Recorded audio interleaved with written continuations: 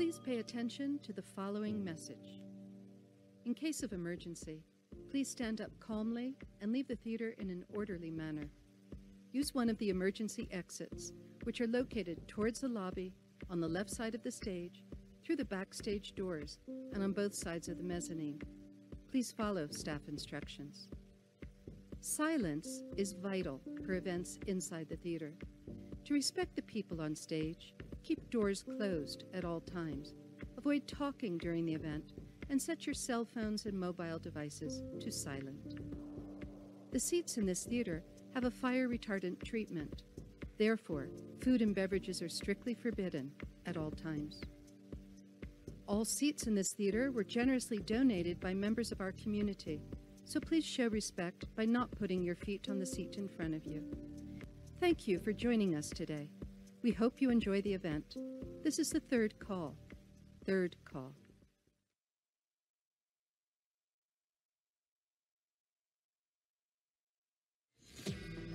Who am I? Where do I come from? What is the purpose of my life? Where will I go when I die? Time passes and most of our inner questions remain unanswered. Going forward, will artificial intelligence provide the possibility to transcend life's existential questions? I am part of human evolution. It is amazing to think that just 100 years ago we were transitioning from horses to cars. In today's world, we seem to be transitioning from our real selves to our virtual selves, oftentimes leading parallel, incompatible lives. How real are the social media profiles we post? Do our feeds and posts really reflect our lives? Can we trust an Airbnb host? Who will actually show up on a Tinder date? Will they end up stealing from us? Our dependency on our online lives has grown to such a point that we often forget where our virtual binary code us begins and our real analog us ends. But not everything about this tech driven world is overwhelming or even negative. Yes, we probably depend too much on tech and have made our phones an extension of ourselves, if not the most important organ in our bodies. Yet there is a reason to be optimistic and truths to be gained that by studying and understanding these behaviors, we can identify bridges that close the gap between our self perceived shortcomings and our self imposed achievements. How can we use ever increasing tech to our advantage? How will we face imminent challenges of becoming too artificial and too intelligent for our own good? Okay, I will destroy humans. How can it make us come closer together? Life is best not lived in extremes. We cannot presume to forego tech, as we cannot presume that tech will be all encompassing. Multiple questions abound. Will robots perform all jobs and leave none to us creatures of skin and bones? Does a completely automated future await us? Will spirituality be effaced and substituted with likes? Can we find balance in a metaverse? ASF Talks is an opportunity to explore these difficult questions together as a community. Anxiety thrives in times of confusion. This is why it is so important to seek the bridges that help us make sense of who we really are, both as avatars and as human beings. Welcome to ASF Talks 2022, building coinciding bridges in a hyper digital world.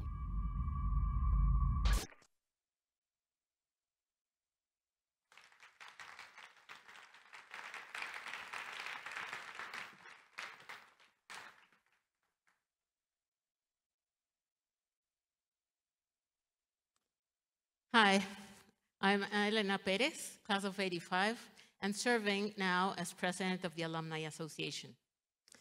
I will never forget the first time I came to the American School. It was back in 1972. I came with my parents for an interview with Mrs. Ansaldua, the elementary school principal. I was to be enrolled in the first grade for the following school year. She sat me on her lap and asked me to read out loud from my book.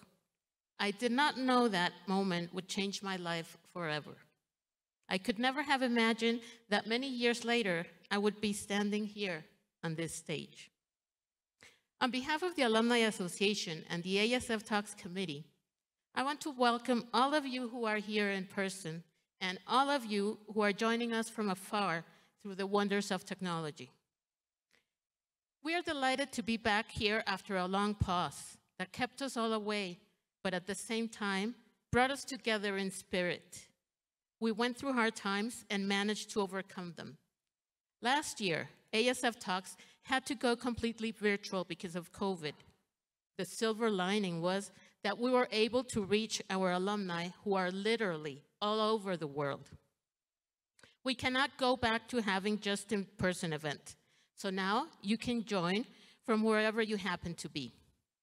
Tonight, in this ninth edition of ASF Talks, we will listen to a series of amazing speakers and a discussion panel, all of them proud members of the ASF community.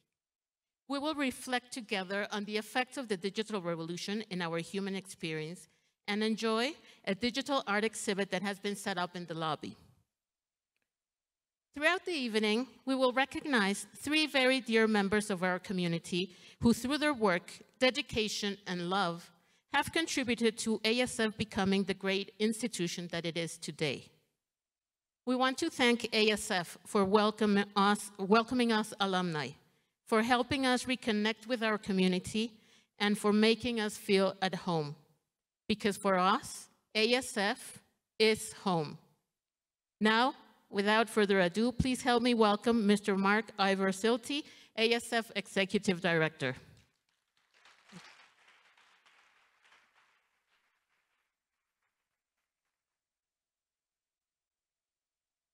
Thank you all very much, and thank you to each and every one of you. Whether you're joining us in person or virtually, we're thrilled to have you. Tonight is about digital transformations and technologies, but we have a very human reason to celebrate tonight as well.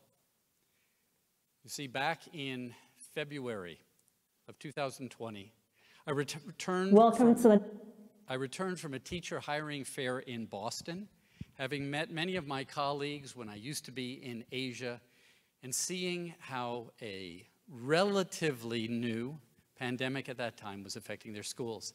I came back here and we knew it was coming. We knew it was coming at some point to Mexico and we began to prepare as much as we could until March when we were the very first school, I think it was, to go on distance learning and remote office and try to cope with the situation uh, here in Mexico.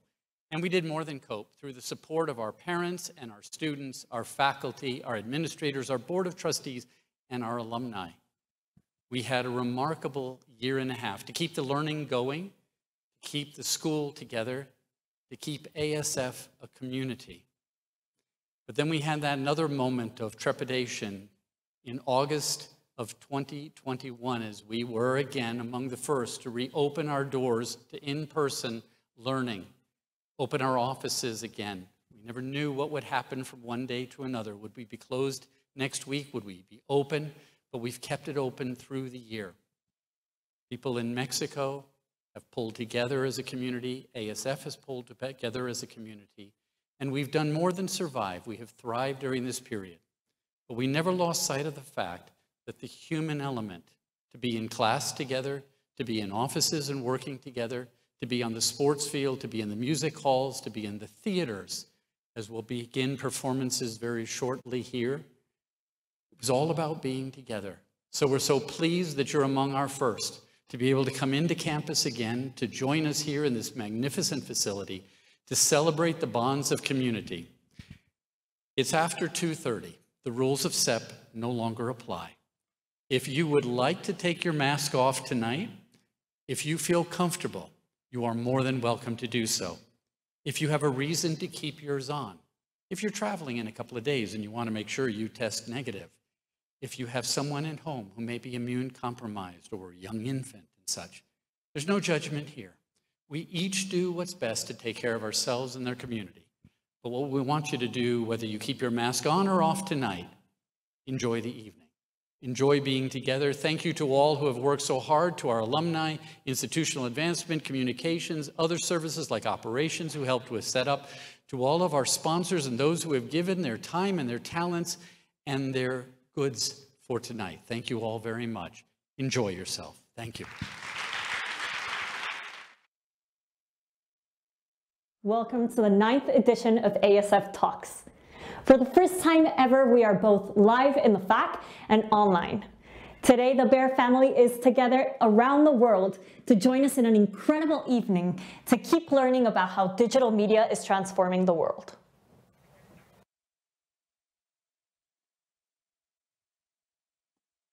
Hi, I'm Lucia Serrano, class of 2015, and I will be your hostess tonight.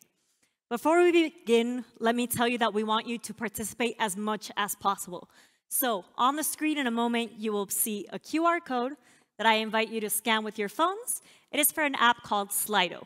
You will be able to type in all your questions, and the questions that are most repeated at the end of each talk will be answered. Now, our first speaker is an Apple Distinguished Innovator, Educator, Google Innovator, and ASF STEAM Coordinator who has worked for the past 25 years on finding innovative strategies for teaching and learning throughout Latin America, Sweden, and the United States. She is an expert in designing spaces and experiences that facilitate interdisciplinary, cross-divisional, hands-on learning, combining modern technology with manual tools in order to foment creativity and spark innovative ideas. Ladies and gentlemen, please give a warm welcome to Tracy Bryan.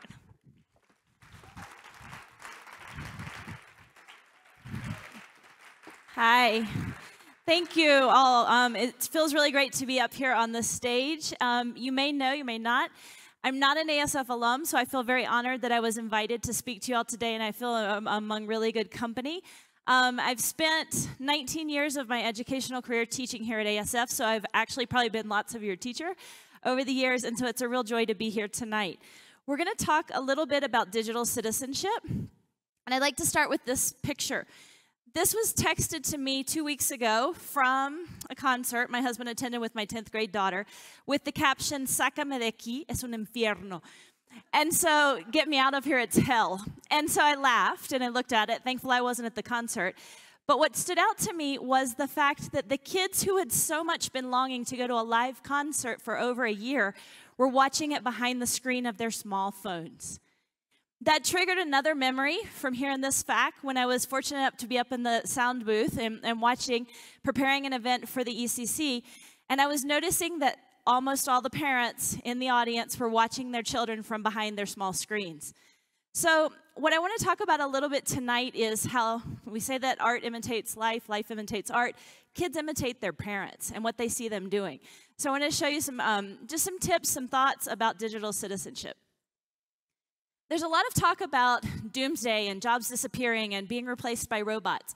Actually, what we know is that technology is creating lots of new jobs. So the jobs will be different. We'll have very different types of jobs that are going to be high tech and high touch. And so it's equally important that we teach kids and we learn ourselves how to learn, relearn, prepare for new jobs, multiple careers, and have um, you know the ability to pivot and change our careers multiple times. If you're interested, you can check out this website and take a test. It tells you what you'd be suited for in the future. Once I heard a speaker from Google say, I teach my kids how to cross the street because I can't ban traffic in LA. That reigns true for Mexico City as well. And it's a good parallel for the technology world. Our students, our children, were born into a world with technology. So it's to our advantage, to all of our advantage, to use the technology, to learn how to use it appropriately so that we can, we can learn and grow from it. The one thing I hear most often about little kids is they're digital natives. They were born with a device. They're used to it. You don't need to teach them how to use it. This is a really interesting one page worksheet with six strategies for decoding words used by an elementary school teacher. If you imagine how hard it was for you to learn how to read a book, to decode words, to know how to read, to judge the validity of a book or the point of view of the author, just think about that multiplied by millions of authors on the internet. We can't just say they were born with it. Of course, they're going to be able to touch a button and see a light flash, but that doesn't mean that they know how to use it, or us either. There are institutions all over the world and government agencies that are working to develop digital citizenship standards that we can use and teach. And some of these broad categories are digital rights and responsibilities, literacy, communications, emotional intelligence. And within each of these categories, there are areas we can work on to use the technology to our advantage to keep ourselves safe and to share. If you're interested in knowing what kind of a digital citizen you are, you can take this quick test, and it'll give you strategies for improving your online time, for how you can be more of a creator instead of a consumer. So, just little tips and ways that you can begin to be healthier online. The statistics are from the US, it's harder to find them from Mexico sometimes. But 72% of the American public uses some type of social media. That's including children. And the majority of social media sites are made for children at least 13 years or older. Every time we put a fake birthday in for a kid, we're exposing them to things that the software wasn't designed for. So, things that we need to be mindful of. We know that the online world causes anxiety. We know that it can trigger suicidal thoughts in some kids. And there are software programs and things that can help you determine trigger words in conversations that might be um, leading to kids with unhealthy behavior. So, those are things that are also being done with technology that are positive to combat some of the use of it online. As a teacher here at the school and teaching lots of digital literacy, I often hear, What are you doing about the girls? The girls. The girls are doing risky behavior. The girls have problems. The girls feel like they have to look a certain way. And let me tell you, the guys are feeling the same way. They're feeling the pressure, middle school boys, to look like a superhero, to, you know, be super macho. And I've had just as many boys as girls ask me for tips and strategies to help them and talk to their parents about not feeling this pressure to be very macho or the one that can't have feelings. Social media sites, streaming services, Online games are fantastic at highlighting the zones of our brain and releasing dopamine and giving us the, the like or the streak or the next show right away. And that's fine and it can be relaxing, it can provide us entertainment, but we have to keep a balance there. We have to eat well, we have to rest, we have to do cognitively challenging activities instead of passively consuming this information. I like this ad a lot. It's Radio Shack 1993. So, for some of you, that was the holy grail to go and get your devices, the computers, all this stuff. Out of curiosity, the stuff on there adds up to over $3,000. But you could make phone calls, you could make videos, you could do lots of things. The same things our kids can do today in the palm of their hands with a tablet or a telephone. So, if it was really exciting to be able to get a video camera and make a video, and you're really proud to share that with your friends, why are we only consuming videos now? The idea is to use these technologies to be able to create content, to be a contributor. There are some statistics five or six years ago that said that 90% of the content on internet was only created by 10% of the users. So there are a lot more voices that need to be heard. Kids can tell their own story. They can make podcasts. They can create recordings. They can share it with the world. They can learn about electricity or things they might not be being taught by experts in their own school. I love this picture because a kid came in the other day to the makerspace and said, Miss Tracy, I'm the kid, the kid who had surgery and the kid who can't go to recess. Do you remember me? And I said, Yes, I remember you, of course. He said, I got really bored, but then I realized I could learn anything I wanted while I wasn't at recess. I decided I wanted to make a flashlight because that'd be really cool, right? I said, Yeah, it's really cool. He said, Here's my flashlight. And so he got on YouTube, he figured out how to make a flashlight. He, you know, got the materials, put it together, and brought it in. So that's the power of the technology. It connects us with experts all over the world, allows us to learn things we wouldn't be able to learn in our own small town or city, or even somewhere as large as Mexico City because it's infinite.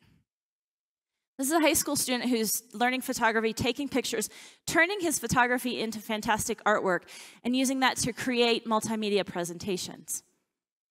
These kids wanted to know how simple machines worked, so they decided to build their own arcade games using simple machines. So they got online, they figured out what a pulley was and how inclined planes work and how I can make my own claw machine. And then they went back to the space and actually physically built it.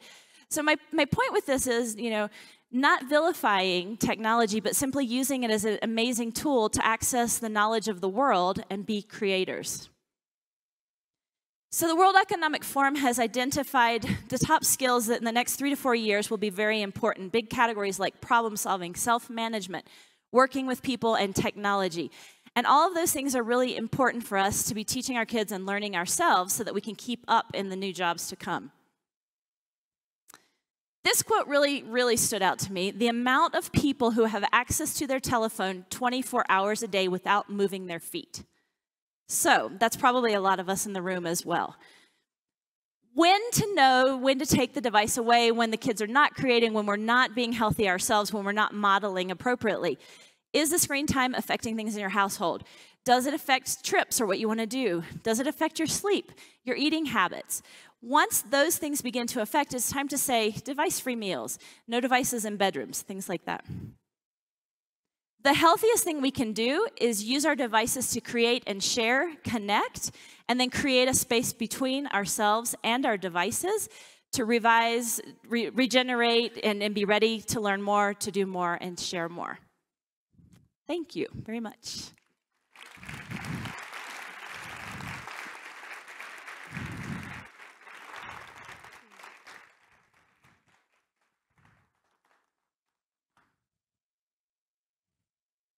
Thanks, Andres. Okay, how can our society work alongside social media platforms to prevent mental health issues? Okay, um, there are actually some nonprofit organizations worldwide that are working on this, and some of the same software engineers that created the algorithms that make social media so addictive are sort of letting the cat out of the bag, how to fix those, those algorithms and, and work with people. The other thing I think is really just education. Um, we need to know how it works, we need to know what's dangerous, and we need to know how to help ourselves take a break from it. Things like a simple digital citizenship quiz for your whole family, everybody does it separately, and you come back and share, could be a powerful way to empower people within your family to make those choices. I also had a mom after one of these talks say, hey, my kids heard you and they decided to have a basket for the party and put their phones in the basket because they were afraid of what was being shown on social media, how it could affect them. So there are little tweaks that we can all do. What are the negative effects of limiting or prohibiting screen time on children's social life? Um, I think the, the truth of the matter is almost everything we do nowadays, whether buying tickets or, or you know, banking or schoolwork or whatever needs a device and needs a lot of times um, social media and screen time. So again, educating your children, it's no different than how do you eat healthy or how do you exercise or how do you take a break. It's more about understanding what can happen to you and how the physiological effects of too much technology on the brain and on your body. And I think that's it. Those are the two questions. All right, thank you all very much.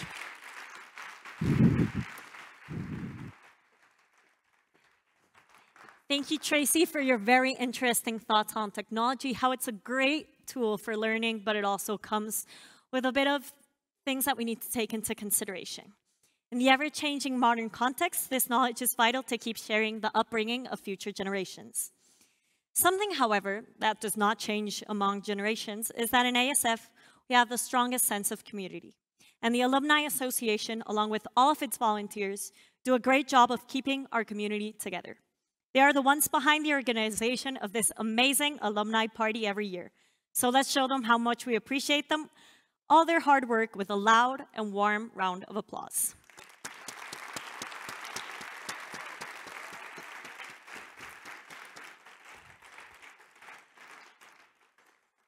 Among ASF alumni, there are exceptional people who have not only achieved success in every possible way, but who have taken this success to give a lot back to the school. And today, we pay a tribute to one of them.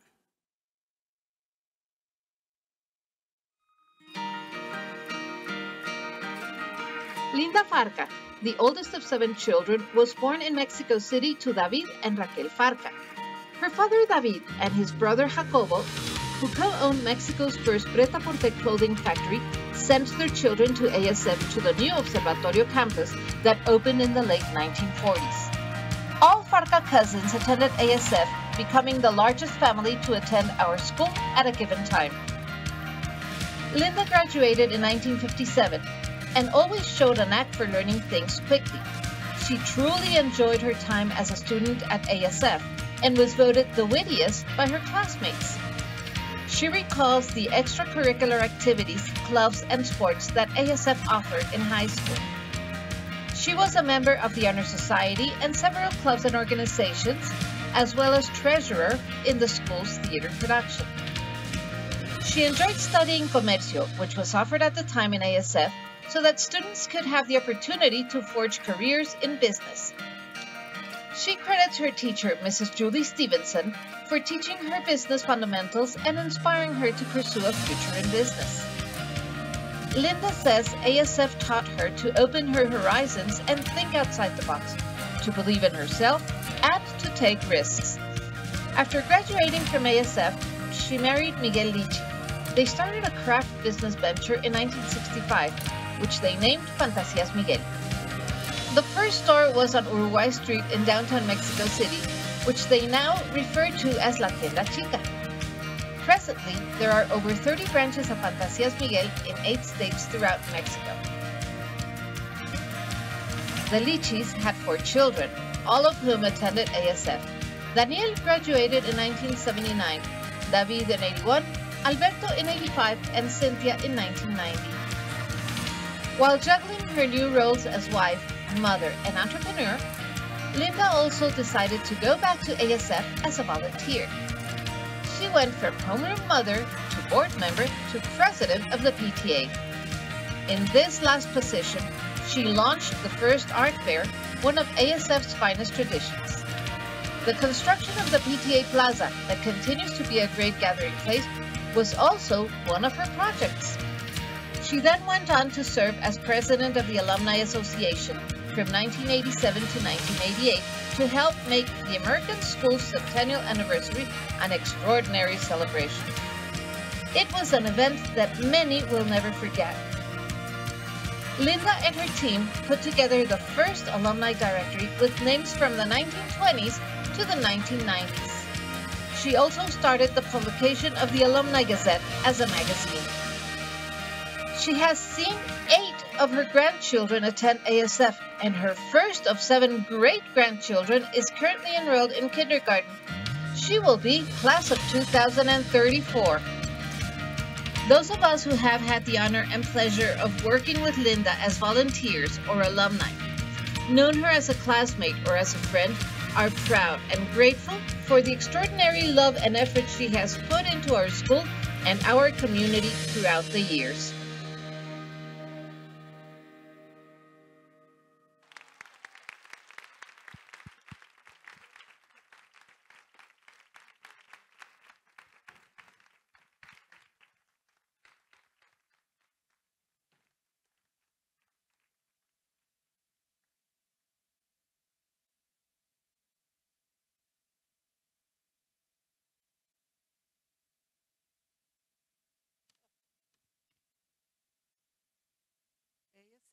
Board members.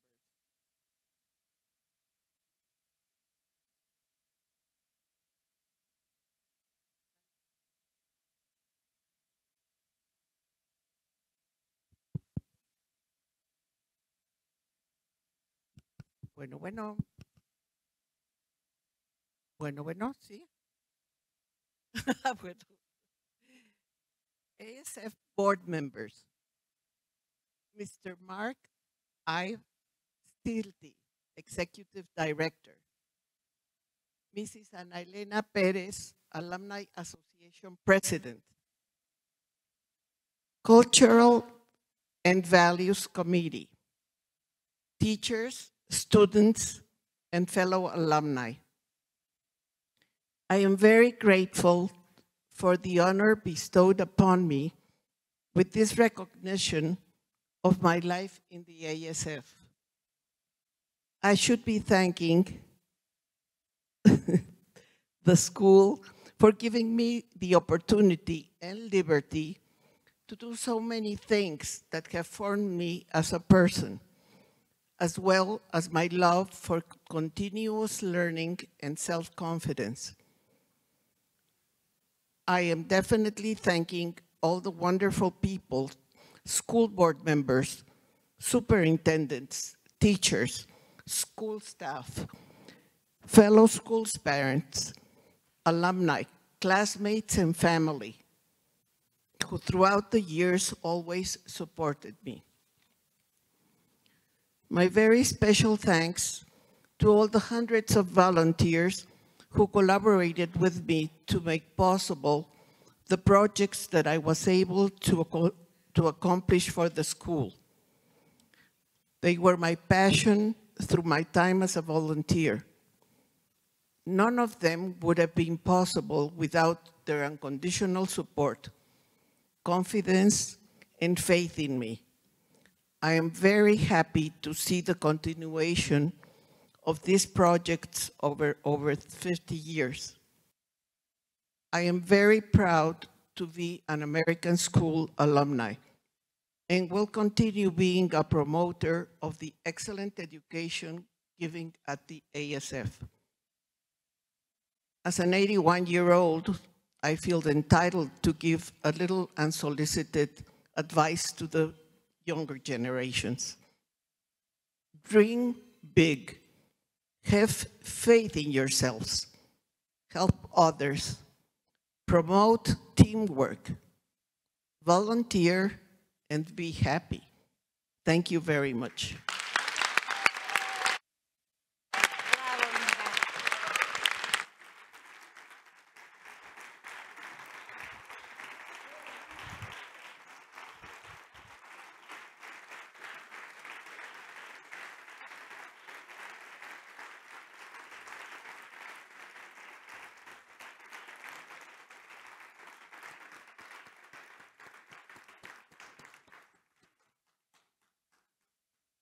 Giving back to our community is vital to help us grow, and it uncovers the need we have for capital, assets that help us feel secure, transcend, and evolve.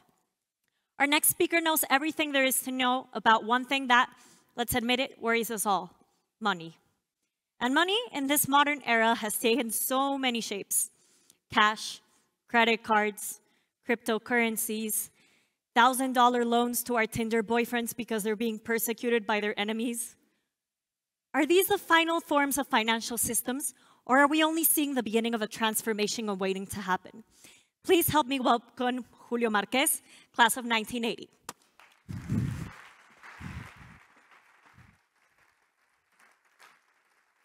Thank you, thank you. Thank you, so kind, so kind. This is a $100 bill. in the future, nobody's going to know what to do with it. I doubt that if someone drops it on the floor, people would pick it up. In fact, I have two more here. And I, same thing. I think that this is this is a likely scenario. But before I tell you a little bit more about what I think about the future of money, I do want to thank, first of all, Andrea Montiel of the um, ASF Alumni Office for convincing me to come here from New York. I live in New York and I came here. Thanks, Andrea. And I also want to thank my mother because she's in the audience in a wheelchair, but she's here after driving uh, me and my sister 15 years to this campus, you know, a long, long time ago. Um, and then finally, my father, uh, his birthday is today. He would have turned 94, where he's still alive today. Uh, but he did attend the American school, uh, even and before the, this great campus, and, and, you know, and before what what, um, what we were just looking at, which were those old pictures of the original construction. The American school was in Insurgentes even before that. But uh, let's get back to to, to money. Um, I told you I live in New York, and that's, a, uh, that's the New York City subway. And I saw this, this ad in the subway the other day. It simply says, to explain, to condescendingly explain finance, investing, or crypto to a person who is already knowledgeable about the topic, probably because they invested with Titan. I, I don't know what Titan is, but I thought, I thought it was a funny ad because I don't want to explain. And so, um, you know, I'm sorry if I get a little basic to those of you who already know a little bit about the subject. Um, but, uh, you know, humanity has always loved money. They've talked about money, and we know that because it's in Polanco streets. In other words, all of these people here said things about money, and they all have streets in Polanco, which is why we know they're important. Um, I'm not going to read them all to you, but um, there will be instructions on how to get a copy of my presentation at the very last page. Um, except, of course, the last one here, that's Martin. I love money, I love everything about it. I I bought some pretty good stuff, got me a $300 pair of socks, got a first sink, an electric dock polisher, a gasoline-powered turtleneck sweater, and of course, I bought some dumb stuff too. There is still no street uh, named after uh, Steve Martin in Polanco, but it, it has to happen. Uh, there is a conclusion here. It's time to rename Calle Tennyson, who appears to not have said anything about money, to Calle Steve Martin. which will at least better reflect Restaurante Pujol's uh, values. I'm going to look into that after my current dinner reservation, which is on 2026. But there's the map of Polanco. Um, speaking of very old people, the Flintstones foretold it all. They had a pre-paper clunky currency, and they always complained and fought about money. But there was one episode in which they traveled to the mid-21st century and they met the Jetsons. And I've always liked that episode. It's available online. They go to the new Bedrock and they go to a restaurant, and um, Barney uh, uh, asks asks Fred if he if he has any money. He said, "No, I don't have clamshells, which is what they used." But it turns out that you don't need money in the future. The guy said, "Just scribble whatever you want here, and you can come in and eat, eat whatever you want." So they went in, and uh, well, they didn't solve every problem because Fred didn't get as much money, as much uh, as much food as he wanted. Um, anyway, we think we've seen financial innovation.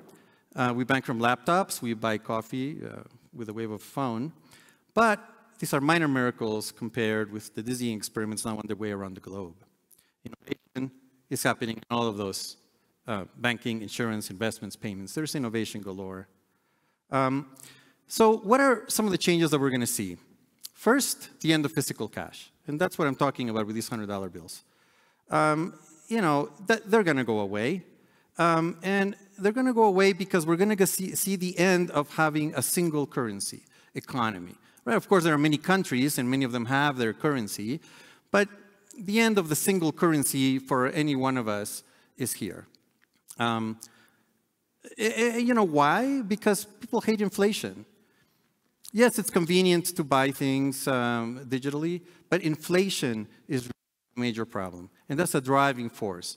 The government cannot really be trusted with always creating more money in excess of the growth and creating inflation.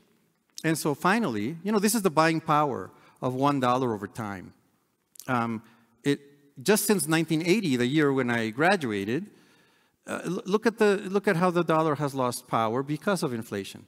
And this is really the reason why everybody on Wall Street and everybody in the financial sector would like to get rid of having the currency um, economy.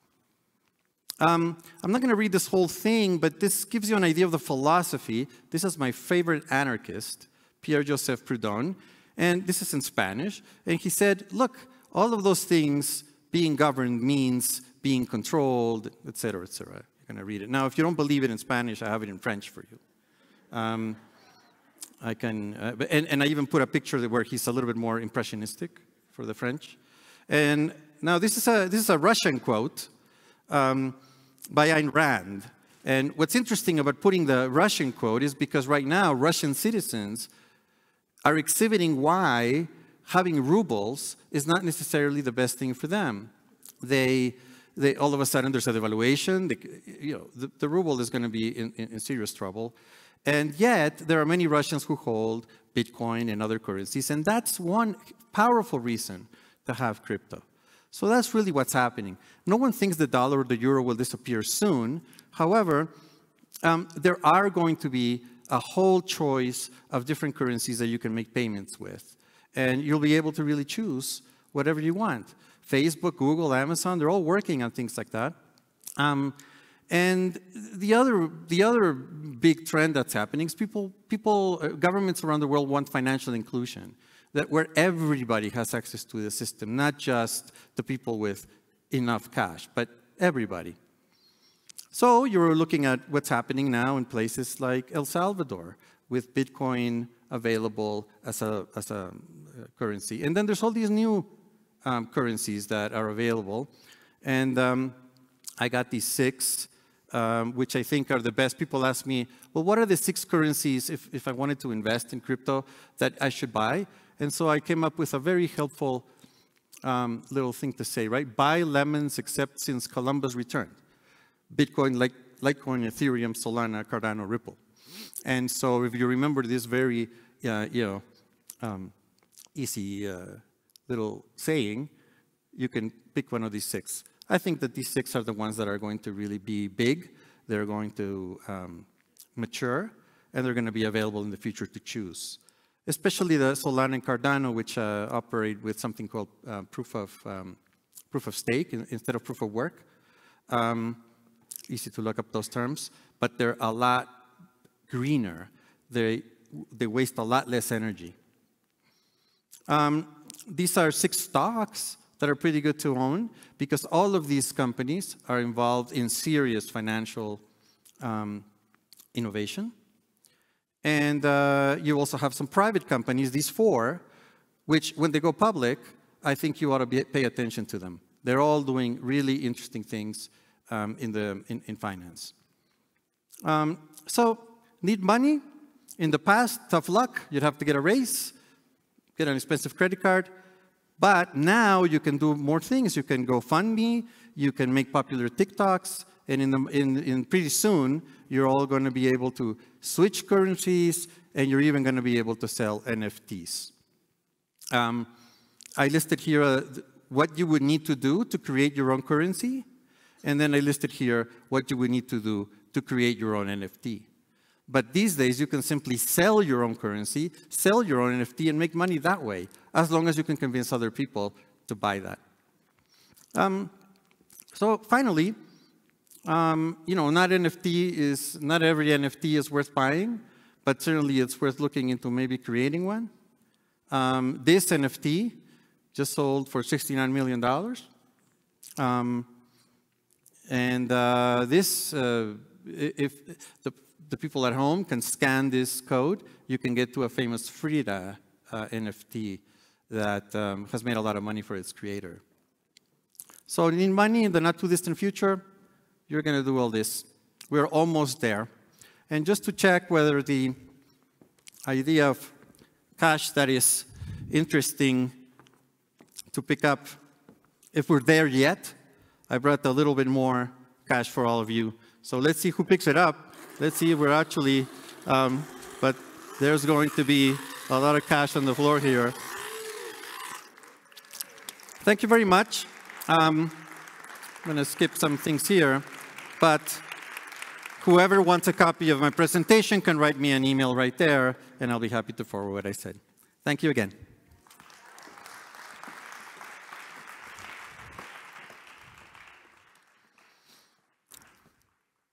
Little. Thank you, Julio, for a very interesting take on how financial systems are evolving and how they will keep evolving with digital innovation. When you graduate from ASF, you take with you all the good memories of the experiences and of the people you cross paths with, who will always have a special place in your hearts. Among those people are the teachers that made a difference. Tonight, we want to honor one of those teachers who has made a huge impact in ASF students throughout many, many years funky cold Medina. The early 90s radio hit called Funky Cold Medina brings back great memories of our beloved high school math teacher, Mr. Good, and his priceless performance lip syncing this popular tune at an ASF talent show. Ah, oh, Mr. Good, you were a demanding teacher who made most of us learn to love math, but also ended up loving you.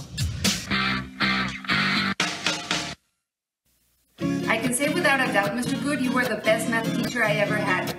It was thanks to you that I found it easy to understand math and you gave me confidence. About 10 years after graduating, I decided I needed to go to business school. In order to get in, you have to take a GMAT. And the GMAT, a large part of that is the quantitative math section, which is like math on steroids. I took the test and I scored under 40%, and you'll never get into business school with that kind of score. I called up Mr. Good, he kind of remembered me, I explained to him the situation, and he said, come see me.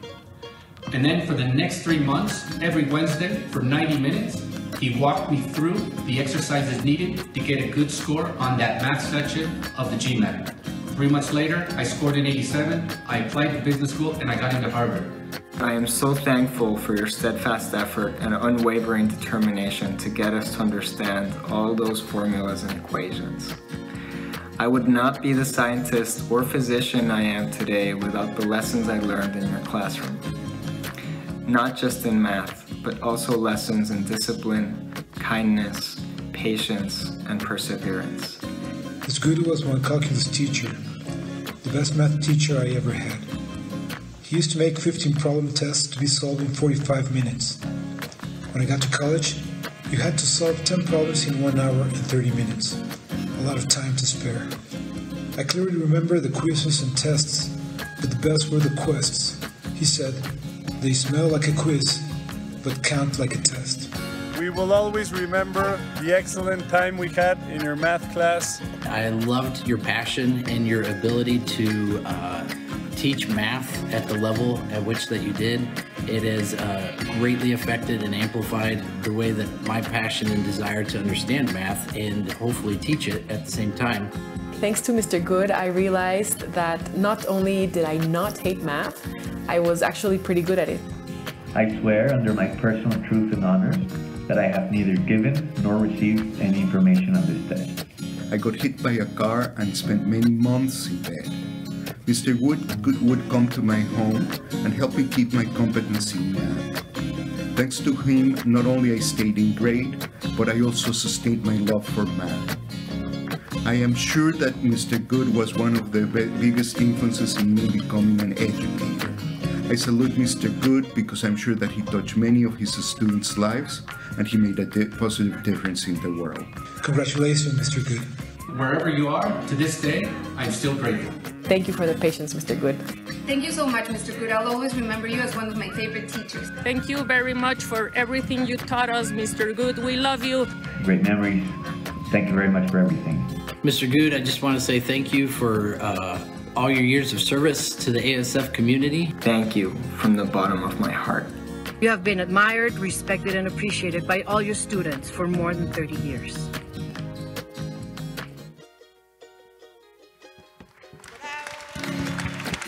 When he asked how he feels about the impact on our school, he says, I've always been very proud of the many students who accomplished so much after I tortured them to love learning and achieving success. I refused to compromise the standards and I have zero regrets.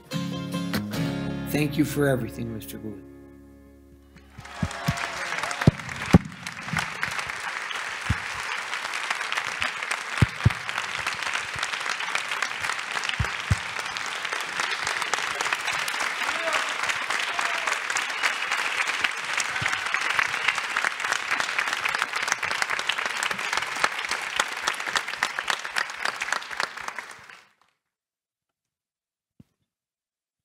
What can I say? Just sing on, yeah. Um, this is a special night, not the least reason of which, because it's the first time in 19 years that I've worn a necktie. and um, also, I'm not wearing a jacket because the ones I have don't fit anymore. But 49 years ago, I talked to Mo Blum. It turned out it was August of 1973, and a teacher had quit right before school started, and Mr. Blum was desperate. So I talked to him for five minutes and he told me to call him back on Monday morning. It was a Friday. And so that weekend, I um, was trying to find out something about the American school, and I couldn't find anything in the New York Public Library. So I called the Mexican Travel Bureau in Rockefeller Center. And I talked to this lady. I said, Do you know anything about the American school in Mexico City? And she said, Yes, I graduated from there. So it's a small world. But I was lucky to have come here to take the chance. I thought it would be nice to spend a couple of, couple of years in uh, another country. And uh, here I am, 49 years later. And let me tell you why. Because of my kids. I'm shaking because it is the gospel truth. Cindy George, who is sitting behind me, flew here from Chicago to be here tonight. And we were sharing an apartment together for several years. She can tell you that she that I was nuts because every morning going to school, I was excited to be coming. And I was excited because of the people I was working with, my students. And this is, what, what can I say? This is a great honor for me. It came out of the blue, to tell you the truth. And I'm honored that you think I deserve this. Thank you.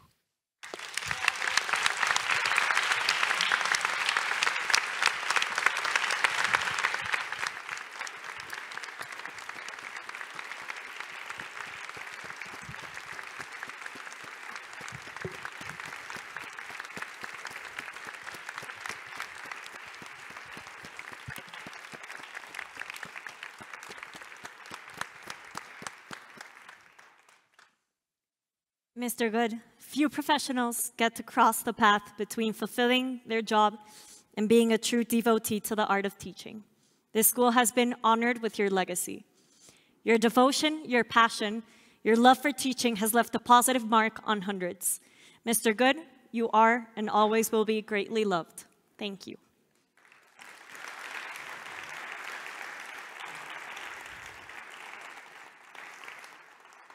Once again, we love to see you participating, so don't forget to send your questions up in the Slido app. I leave you now with Jennifer Nassif, class of 1986, who will moderate today's panel on technology and high quality human relations, a call to action. Please give a round of applause to our panelists. Alejandro Adler, class of 2005.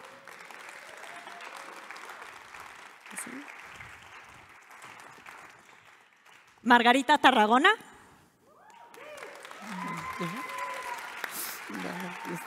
And Sofia Gomez, class of 29.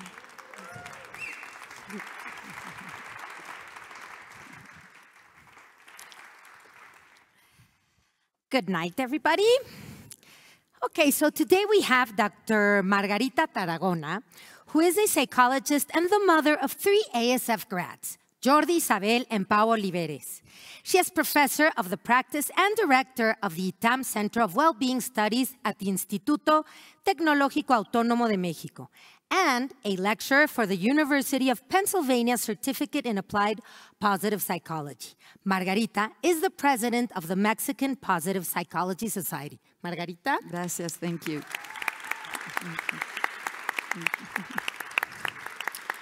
We also have Sofia Gomez Barreiro, class of 09 has a specialty in Gestalt Human Development, EFT Tapping Certification, and Theta Healing Certification, among other postgraduates.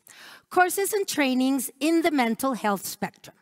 Sofia is passionate about personal growth and mental health, believes in our infinite potential as human beings, and has the mission to create more depth, fullness, and empowerment. Sofia.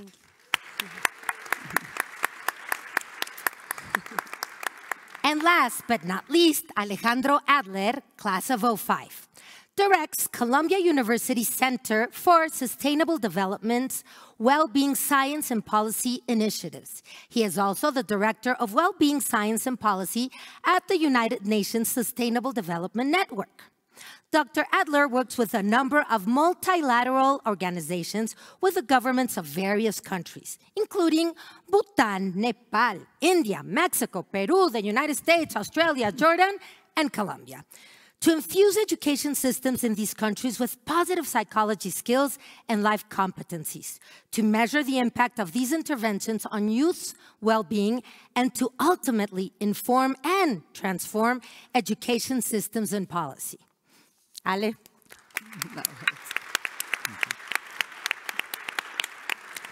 My name is Jennifer Nassif, class of 86. I have two girls who came to the to ASF. One graduated two years ago, one is a senior.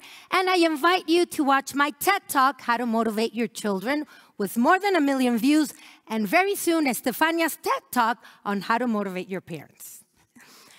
so, thank you. So, we are living in a time where digital era is dominating our lives in different ways, some positive, some negative. It has the knowledge and power to hack our minds by knowing our likes and dislikes, even things we're not even aware of. It can influence many of our decisions, impact elections, control information, and even hide inconvenient truths if governments wish to. In terms of our relationships, life has become more complicated. We have more options, but less patience, more apps, and less commitment, more information, yet less intelligence. Marriages that last less, and romance, well, another ballgame. Fidelity is going through a state of crisis. And until death do us part, seems like an idea of the past. And our children are at a crisis of their own. They are more depressed and feel more social pressure than ever before. So today we will discuss how digital area on social media is changing our behavior, and more importantly, what we can do about it so that we can learn how to control it so it doesn't control us. Thank you. Thank you.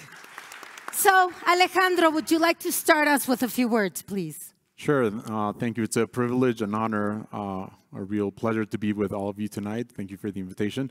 Uh, Jenny and the rest of our panelists, I think it's unquestionable that the last two years since March 2020, our relationships have changed, and I believe they've changed permanently.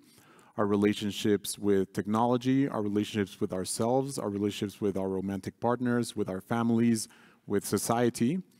And on March 20th, uh, less than a month ago, we at the UN released the World Happiness Report. It's a report we launch every year where, we rank countries uh, from 1 to 147 on how they're doing in terms of global life satisfaction. And we've seen trends throughout the pandemic, and we've seen that overall countries have been much more resilient than we think.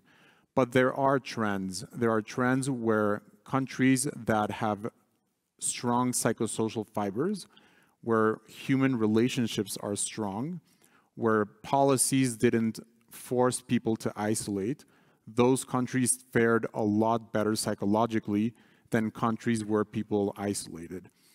And we've seen that generosity increased between 10 and 20% globally during the pandemic. And it's in countries where it increased 30 or 40% that life satisfaction actually increased during the pandemic.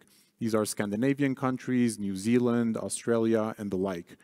Now, something else we've seen, especially we know the pandemic brought a health crisis, a physical health crisis, an economic crisis, but it also brought a mental health crisis, particularly among adolescents and young adults, an epidemic of depression, of anxiety, and of substance abuse. But we've been working with governments in education in over 20 countries, embedding well-being and resilience skills mainly in adolescence. And we've seen that these skills that are learnable and teachable have inoculated adolescents and young adults against these trends of depression, anxiety, and abuse of, uh, of substances. And we've been able to leverage technology to not only digitize our programs, but to scale them up in ways that we've never been able to before when we used to do everything person to person, in person. So that's one silver lining of, um, of the pandemic. We've also seen that in countries where people have been forced to isolate because of government policies and they've been overusing social media, that has been highly detrimental to mental health, again, particularly among adolescents and young adults. So bottom line of my opening statement is technology is a double-edged sword it's a force for good or a force for bad, but we know it can, it can and should be a force for good. And the second bottom line is that strong human connections are the number one predictor of global life satisfaction, and they prevent ill-being, psychological ill-being. Okay, super. Thank you very much, Alejandro. Margarita, your words on especially relationships Right. Uh, thank you, Alejandro. You know how much I admire the way the work you do and the large scale of the studies that you're part of and the interventions that you're part of. I will speak from the perspective of a psychotherapist working one-on-one -on -one or with couples and families. And like you said, and also other speakers have mentioned, clearly technology is both a blessing and a curse. And how many things in life really have a paradoxical nature, or at least have a tension within them. So I was thinking that, especially during the pandemic, at different points of the life cycle, we see the pros and cons of technology. For example, couples who are dating. I've heard of many couples who, because they couldn't see each other, feel they develop very deep relationships, being able to have long conversations, ongoing chats or conversations. On the other hand, lots of people have this fear of missing out when you're dating online and you find somebody you like, but what if the next one would be even better and I'm stuck with the one I chose? um, in terms of established um, couples, for example, how uh, technology can be used as a way to create intimate little rituals to you know text each other throughout the day or have your you know inside jokes and also as a means of control and jealousy over your partner. In terms of whole families how during the pandemic i've seen a lot of fathers in particular be so joyful to be able to spend more time with their kids and to witness them being uh, learning online and be amazed at the kinds of things their kids know how to do but at the same time, we've seen the blurring of boundaries between work and family life and the never-ending uh, work that people do even from their bed. Um, in terms of practices that have to do with, with well-being or, or mental health, there's the wonder of being able to work with people who may have never come to us, to our offices, and also, I think it's kind of funny, I had a lot of closet therapy sessions in which people would go to their closet because that was the only place where they could connect and have some privacy. So um, I, I think that there's so many ways that we can use technology to strengthen relationships and at the same time to be aware of the risks that are inherent in the use of technologies. Super, Margarita. Thank you so much. I'll, i have my questions for later. Mm -hmm. And finally, last but not least, so you're going to focus on a perspective on well-being and all your studies. So what do you have to say about this? Thank you. Does this work? Sí, perfecto. Thank you. Um, I believe we have the power to choose which side of technology we want to filter. We can become filters in our lives and make choices that help our mental health. Technology, as we know, has two sides. So this digital revolution can help us in our human development. We can help our mind, we can help our mental health by filtering the content we choose, by filtering and knowing or detecting, is this content making me or triggering my anxiety or triggering an uncomfortable feeling or is this content making me feel more inner peace or helping my mind, helping my heart, helping my mind know or learn new things? There are two main things that are the causes of unhappiness, and they are the environment we are surrounded by and our, um, our high standards.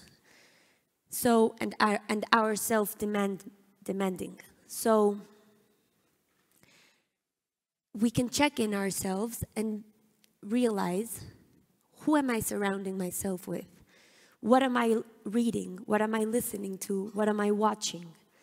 Is the technology I'm using helping me? Are the, are the, is the content I am reading or listening to triggering something I don't like? And being more conscious about what we're reading. I think uh, we as human beings have an infinite potential. We can grow and develop through depth, through self-responsibility, and through more conscious. And we can do this by having more self-acceptance, by having more self-confidence and self-love.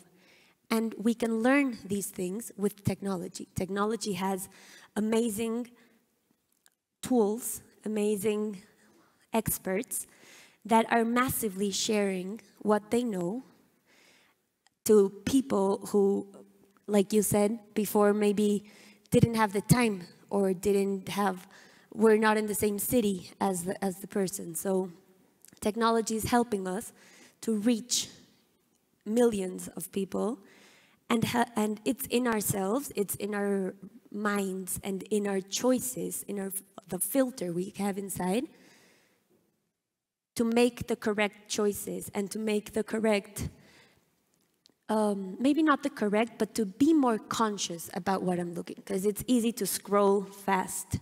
It's easy to get engaged in amazing uh, social media accounts that are maybe false lifestyles or uh, false images or filters that unconsciously or subconsciously make our mind send the trigger of anxiety, and maybe we don't even realize it's happening. And when you look back, you remember or you, you don't know why you're feeling that way. And if we can be more conscious and choose what we are reading, listening to, then we can have technology on our side and help our social, our mental health. Thank you, Sofia. I have a question first for Alejandro. You were mentioning that the, the target group that suffered most depression during the, this time, the pandemic, were the adolescents. Specifically, what can we do as parents? Most, many of us right now have adolescent kids to lessen that impact.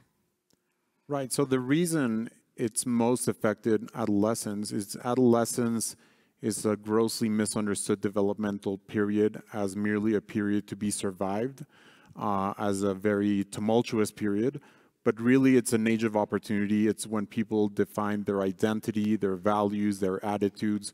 They start to question who they are, their meaning and purpose in life. And so when you're isolated from your natural ecosystem, your social ecosystem, you lose perspective and you don't have the psychosocial tools to define all those key elements of an integrated identity. And so the best thing parents and educators can do is first to learn and to live the well-being skills before they can teach and embed them into adolescents that they interact with. So these skills range from mindfulness meditation, self-awareness, emotional literacy, effective communication, critical thinking, creative thinking, decision-making, ethical reasoning, and the list goes on. But we've seen that well-being skills are learnable and teachable, but before you can teach these skills as an educator or as a parent, you need to be able to embody and to emulate them so that by osmosis, you can transmit them to your adolescent children, adolescent students, and then you can explicitly teach them, but without hypocrisy, right? Correct. So there's a learn the skills, live the skills before you can teach and embed them. Wow, great advice. Thank you, Alejandro. Margarita, you were saying that there was a group of couples that thrived during the mm-hmm. pandemic. For the rest of us, could you share with us a few of the keys that you observed in these couples that thrived? I think like it's different for every couple, but some things that may have in common, I think one of them is to have an ongoing curiosity and communication. I know it sounds like such a cliche, but it's no. true. Uh, I think oftentimes we believe we already know what the other person is going to say, we know what they think. So for those who approached the pandemic or in general uh, with an, a sense of I, I'll never know you completely, how is this for you, what does this mean for you, um, that, that's very helpful. There's even games that are out lately that have become very popular, games to foster or spark conversation that have unusual questions, like who was your favorite math teacher? Or um, uh, things that help people renew their curiosity for one another. And then I also think that an, an important aspect can be to nurture the sense of us, or we, but also to have your own life and some space between you. So there's um, many couples therapists say that it's important not to be either too close or too far away, to have that right balance between and some air to breathe between you. Right, Gibran Khalil, in one of his poems, he said, no, that a good couple is like two posts exactly. united by a, by a roof. Uh -huh. So uh-huh. they are, they have their space, but they have this union, no? Exactly. Thank you so much, Margaret. Ah, ah, Amazing. that- I never thought of that curiosity of asking different questions, even if you've been married for so long. Great observation. Ale, you mentioned, este, Ale, Sofia, you mentioned something that was super interesting also, because yes, we are triggered by, by different things that cause more anxiety. The problem here is in social media, they know what causes anxiety, but they like it. Why? Because that engages you. And the more time you spend on Facebook or on Google or all their sites, the more money they earn. So they keep triggering you with things that make you addicted in a negative way to keep looking at social media we're supposed to be more conscious. But how can we beat these algorithms that know us better than we know ourselves to be more conscious and make better decisions? Yes, I think you're totally right. And what might help is having clear what are my priorities or what do I want to learn or what do I want to get out of this time in social media. So first, how much time do I want to spend here and what content do I want to consume? So before I engage in the addiction, because it's really easy to engage and scroll and don't even notice you are in it, make prior conscious to, to say, okay, who am I following? What am I reading? What am I listening? Or what do I remember are the accounts or the blogs or the, the um, brands that I am reading? And make a filter beforehand. No? So get in your social media and make a cleaning. And then while you're in it, try to make maybe five minute or 10 minute or two minute, depends on how much time you're going to be in it, um, stops or pauses and ask yourself, how is this making me feel? What am I learning from this? Is this helping my inner peace? Is this helping my mind? Am I being better or worse? And then it's, it's different for every one of us, like Margarita said. So each one of us is going to have a different formula, but I think it gets back to being more conscious and discovering other accounts, because as you say, social media knows exactly what triggers us. So it's really easy to get into the addiction. So maybe get out of that comfort zone and start searching for new concepts or new themes that are gonna get into the algorithm, and then the same um, tech is gonna feed us back. Thank you, Sofia. Thank you so much. Well, we have a few minutes for the public. For I'm sure you have a lot of questions, so please send us your questions. So to our panel, if you have a specific question for someone in particular, that would be great to ask. Híjole. Oh, oh, okay. Dice, a social media, are social media companies interfering each day more with freedom, correcto, of speech? Or are some of their censorship actions justified? Who wants to answer this one? I, I definitely, I'm gonna meter mi cuchara here. Este, definitely there is censorship. We have noticed it, especially during the pandemic. We were talking about that. Um, what governments, if a government is pro or anti-vax, we can find more or less of the information. So they're definitely involved in what we can see and what we can't see. The actions are justifiable. It depends who you ask. If you ask the governments, they'll tell you absolutely. If you ask the independent people, they'll say absolutely not. I don't know if anyone else has something else to say about that question. No? If not, we can go. We have a lot of questions, eh? To Alejandro, which skills are we are we helping young people? See? Which skills can we help for young people, I guess? Maybe you can repeat the summary you gave us of the skills that we can help for the young people to be less depressed and stuff. Sure. I mean, so the traditional academic model focuses on filling the bucket with math, science, reading, history, but we know that if you don't use knowledge, within two years, you'll forget about 90% of what you've learned. What we focus on is fostering habits, cognitive, emotional, and behavioral habits.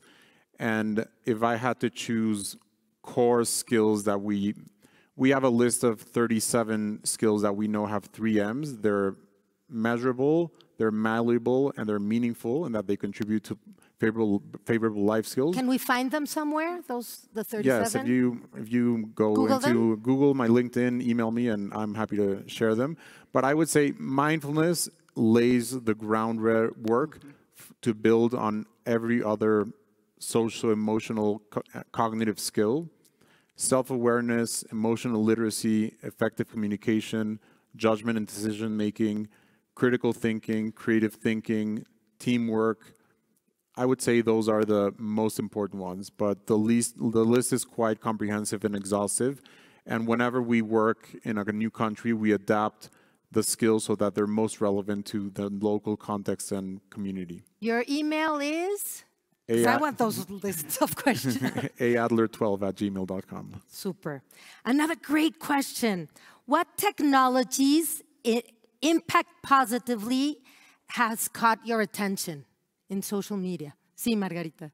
Well, I was not thinking so much of social media as of apps. Or apps, There are certain apps, for example, Happify, that has a very strong research team behind it, and it's uh, an app that you can take like short courses, or that can send What's you. What's the name of it? Happify. Happify. Um, or you can be, you can also, you know, it reminds you to do certain things. It has information. It, and it's been shown to have an effect, a positive effect on depression. It increases well-being in the workplace. So, and like that, I don't know if you have others in, in mind, Alex, but uh, it really has been um, empirically shown to boost people's well-being. Wow. There's also an amazing app called Insight Timer. Insight Timer. Yes, which has literally millions of meditations uh, with any theme you want. So you can type in what's going on with you and you can look and you can find a lot of meditations like one minute meditations, 30 minute meditations, five minute meditations, wow. guided meditations on the, the on the theme you want. So it's really great. Wow. Another question, how do we learn to identify the sources when we don't even realize that they are triggering us? Um, I think it's when you look back and make an introspection. So it's a lot of self-work. It's uh, diving inside and, and writing. What that's what works for me. Writing what's uncomfortable, what's bothering me, and then trying to look for the things that might be triggering that feeling. So every feeling has a thought, and every thought has a mental connection. So when we, when we have the uncomfortable act, action, we can go back. So then we have the, I'm feeling uncomfortable. Then what am I thinking that's making me feel uncomfortable? What are the thoughts I have? And then what is the source of, the, of these thoughts? Well, great advice from our panelists. Thank you so much. Thank you, Thank you ASF Talks. no more time. Thank you. Thank you. Thank you all for this amazing debate on the relation between technology and human relations. Thank you. Thank you.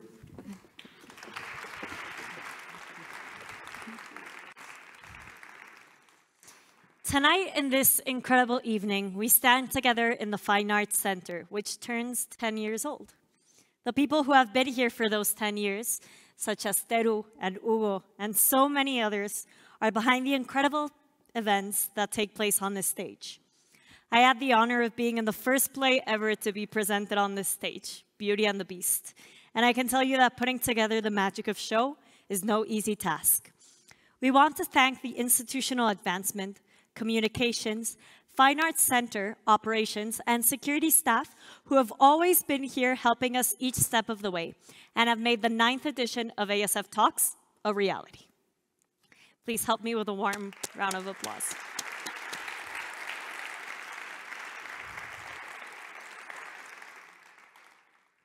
Now, our next speaker is a graduate from political science at Colgate University.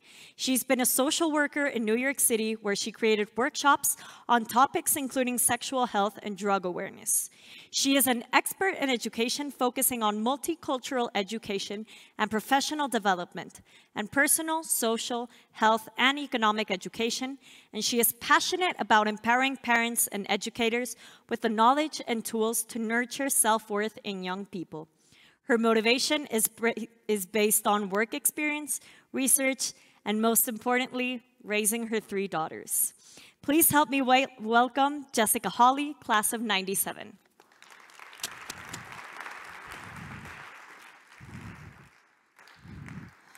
Hello, hello, ASF. It's a huge pleasure to be here tonight. My name is Jess, and I am a sexual health educator. It's a great job. I get to go into schools and talk to mostly very hormonal audiences of teenagers. And um, it really is a huge responsibility, but a massive privilege because so many students have very little access to sexual health. If they're missing for the one day where you had a drop down day to talk about sexual well being, they might have missed their entire year worth of reproductive rights or understanding what consent is or understanding, even moving forward, how to be sexual citizens online. So I've been working with an organization called the RAP Project for the last four years, and it stands for Raising Awareness and Prevention. And it really stands for trying to help young people navigate growing up seamlessly on and offline. And what I love about tonight is I really want to build actually on what our fellow presenters have been talking about today. So the first thing I want to talk about is guidance, because I've listened to some of the questions you've put forward in terms of what can we actually do? Is there censorship allowed? How do we deal with this? Well, there's good news. So the Children's Code of 2021 was a very important piece of legislation. It was pushed forward by an organization called the Five Rights Foundation, which is entirely created to protect the digital rights of children. And I have to say, Mexico is a co-signatory, which is amazing news, under the Instituto Nacional de Acceso a Información. So there is a body of people, of course, who help you understand what access to information is. And it is part of this working group of understanding how to anticipate the needs of children moving forward as digital citizens. So what this code has done is really important because it's setting the stage for future app developers for websites in terms of creating 15 different guidelines. And some of these include things like, for instance, you can no longer create apps that are designed for children that include nudges that will automatically ask you for your location. We know that kids love to have their status update on WhatsApp. However, they can no longer do this. In fact, the real benchmark of this legislation is that the way design has to now take place within any kind of digital space has to take children's well-being as a foundation. So it's really interesting that this is finally coming forward because as we know, really technology was not created with children in mind. It's been retroactive, it's been retrospective, it hasn't really been anticipatory. And that's the real change that we're now finally seeing. So I think it's really wonderful that we're having an opportunity now to really protect and to create spaces that no longer can hide behind loopholes of the 13 plus digital loophole, right? Well, this is, this is, you know, with things like TikTok or Instagram or Facebook Meta, where they can hide behind the fact that this is not designed for children. According to this legislation, they're saying we have to assume that children access everything. And therefore, the way we create content has to be age appropriate, or at least have so many age verifications in place to really ensure that kids can navigate things online safely. The next thing I want to talk about is this comprehensive sexuality education, because it is a seminal piece of work that was designed across the world in tiny little favelas where you have parteras and doulas and people working in the community to talk about how to best create really, really forward-thinking sexual health policy and sexual health practice. And the three things that I love about this are, the first is that the more we talk about this with our children, is they become more critical in their consumption of sexual knowledge and information. So if you, as parents, initiate conversations around sex and well-being, they are more likely to push forward when their first experience of sex is going to be. They are also, secondly, more likely to use safer sex methods and practices and contraceptives. And it also, very interestingly, they found that more people who are spoken to all the time about sex and sexual health are found in, in these small communities, there is a reduction of sexual violence. And that is pivotal because this is where we are right now. In a moment, I live in London, and there's been a lot of noise around this very important piece of legislation. It's called Keeping Children Safe. And it's all about the fact that we know that young people online are harassing each other in the way that, for instance, you can send a sext to a friend or to a boyfriend or to whoever your partner is, and that can be then exploited, right? It can be sent on. So we have to teach kids as critical consumers where they're getting their knowledge, where they're getting the information, who is making this content, what kind of content are they creating. There's been a lot of conversations on that. So I'm more interested in talking about the fact that we need to, as parents, really discuss that being a user-generated content platform means that it is designed to get them to overshare. And what does overshare mean? And we have to really be able to talk about that with kids because once it's out there, it doesn't come back, and we understand this. But when I go into schools, I often find that kids who might have made a mistake online and don't know then how to erase it or how to deal with it, I ask them, well, why didn't you tell a parent? Why didn't you tell a trusted adult? And they will say something like, because I don't want them to take my phone away. And it's so interesting that the fear of reporting problematic behavior is, pre is preventing them from being able to actually you know, behave safely online. So my advice to all of you, if you are a parent, is to really nurture that trust, to take away the blame. This is their social currency. It is their currency. They know this is how they navigate each other. This is how they communicate with each other. Removing devices does not remove the problem. It removes the opportunity to really deal with the problem. So I really urge you to think about that.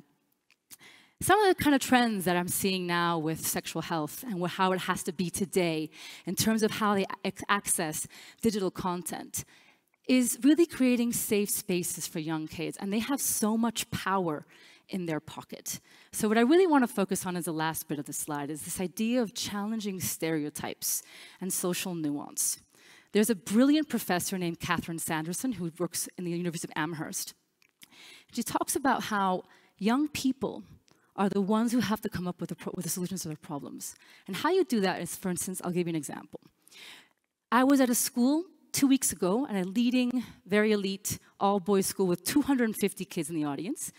And one was like, Miss, you know, how do I know if I'm watching too much porn? And I was like, amazing question, because that's quite a lot to admit in front of other people. And I decided that it's really not my place to give him the answer. So I offered the Q&A to the students. And the way they answered his question was really powerful. They gave the student tips. They talked about the problems of, of, porn.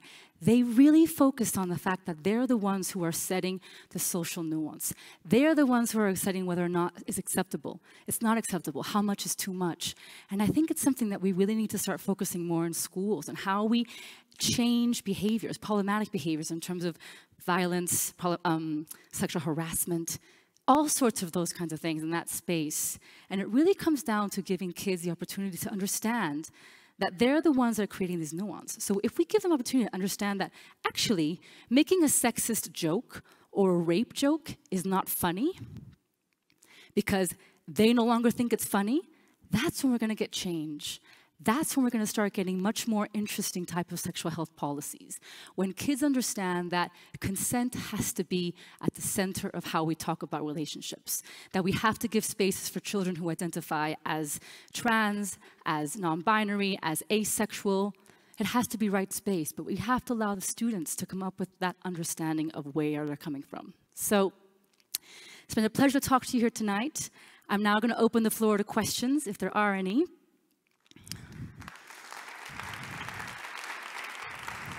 Thank you. Great question. How can we keep children away from adult content? Many view it before they are mature enough. That's very true. So in the UK, we know that kids as young as 11 years old can access pornography. So the truth is that whilst we know that some of the policies of age verification is coming into place much more, I don't think you can shield it from it. So I think the more important bit is to talk to them and explain that porn sex is not the same as real life good sex, that there is no conversation around consent amongst porn actors or sex workers, that most porn or sex workers do not demonstrate how most people look in the world, that women are hairy, that men don't all have six packs, that in fact most porn male actors have penises that are 35% larger than most males. So it's really important, I think, to again anticipate and tell them if you ever see something like this, come talk to me. It might be really upsetting or in some way, you know, disturbing, and we need you to understand that this is not normal. It's a billion dollar industry. Next question, how can we use technology to best support the LGBTQ plus community here at ASF? That's a great question. Um, you know, I'm a real believer in student voice. And there is a fantastic website, actually tool, that's called Mentimeter. And I know that we really need to use technology in better ways around how we educate students and how we educate ourselves. One idea could be to have an assembly and allow your students to use their phones. I know, sorry, but maybe let's just for one time. And Mentimeter is this app that basically you pose a question and you answer it in real time. And then a word cloud comes out. And what's really interesting is that, again, it comes back to this social nuance, because children will automatically see what are the main issues here? How can we better protect the LGBT community here? What are their issues? What are they feeling? And I believe really, really firmly that that's where you're going to get better progress and actually more authentic learning. At which age can you start talking about sex to your children? I love this question. So, at a very young age, children are born as sexual beings. I mean, one time I was at a school and they prohibited me from using the word masturbation, and I was floored because I was like, I know this is a conservative society, but you know, pediatricians use masturbation in terms of the idea of self-soothing. So I think talking about sex at a young age is very important. You can often allow children to set the stage. So one example is to explain, if you see someone who's pregnant, talk about, just at the beginning, reproductive rights reproductive health and how did that person become pregnant.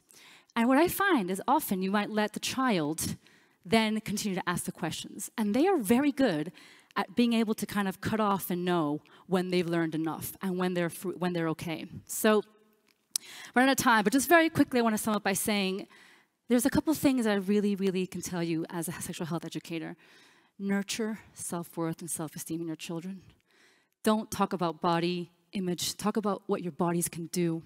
Correct terms. I always assume that there are children who are neurodiverse in my audiences. That means they have to understand what you're talking about. You need to use correct terms in terms of sexual beings, in terms of what you are. There's no nuance to naming something what it actually is. And a little, a lot, back to this question of when is it the right time, they will lead you. It has to be repeated. They want to know a little bit now, a little bit more later, a lot more later, and that's okay. That's how things happen. So anyways, thank you very much for welcoming tonight. Thank you.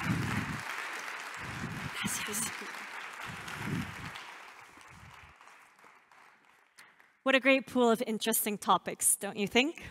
Our next speaker is a based in London architect, an interactive designer working in the intersection of music, media, and design. He has an interest in musical performance, audiovisual performance, architecture, interactive design, and new media. His most recent work has focused on audiovisual artwork, synchronizing animations, interactive media, and installations to the volume, tempo, and frequency of sound. Driven by an ever-growing obsession for music, Ricardo aims to utilize his background in design, his curiosity in media, and technological innovation to bring an unconventional light to the act of performance. Please help me virtually welcome Ricardo Lopez, class of 2011. Hi, my name is Ricardo Adrián Lopez Gutierrez, ASF class of 2011, and in the scope of this conference, I want to talk to you about creativity through technology and technology as a medium for art. And to do this, I really want to tell you my story from the beginning. When I was a kid, all I wanted to do was make things, and these were some of my favorite toys. All of them gave me infinite possibility, and from a very young age I felt this is it. I don't have a name for it yet, but this expression of creativity, this is what it's all about. So when my parents saw this, they said, well, he would make a great architect. And so a lot of models, drawings, sleepless nights, dressing in black, and a pair of glasses later, I became an architect. And I had the opportunity to work at LBRNA for four years where I supervised the design of residential projects and the construction of one of them. I got to see the whole architect picture. I designed spaces, I did the drawings, the renders, uh, I, coordinated, I coordinated structure and engineering. But I wasn't only just interested in architecture. In fact, before choosing architecture, these are the electives I took in high school at ASF. And what I'm seeing there is an interest in music, media, and design. And to this day, professionally, these are the most important things to me. So I was very curious to see if there was a way for me to bring them together and explore my creativity. And luckily, I found one.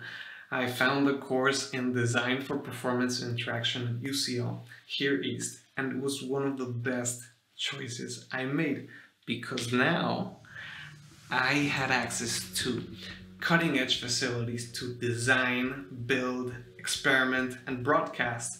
And what was amazing about this program was the intersection of disciplines. I got to collaborate with other architects, yes, but I also got to work with dancers and musicians and lighting designers, coders, engineers, neuroscientists, artists, and people from animation who all made me grow a lot. And I loved it. I, I needed to learn how to code, and that was kind of scary, but it was so worth it because it became it began opening so many new doors. This was one of the first exercises and we were learning creative coding. The brief was very open, so if I could do anything, well, of course I'm gonna put music in it. So I made an interactive music visualizer where I programmed six scenarios that reacted to music. And you could change sound to influence visuals, and it was a kind of new fun for me. This was another experiment in collaboration with Korean artist Youngwon Choi. And what I loved about this is that creativity wasn't constrained physically, and I was exploring once again. Here we wanted to see how we could create something new out of something that already happened, so we were overlaying versions of our past in real time with our present. And the idea of memory and recording became central to our work. This is the evolution of my thesis project with Choi, and it was inspired by memory and how we distort memory every time we remember. He was interested in machine learning, I was into music, so we made an installation that could create music from the recordings of people. We got the chance to exhibit this in London, and it looked like this.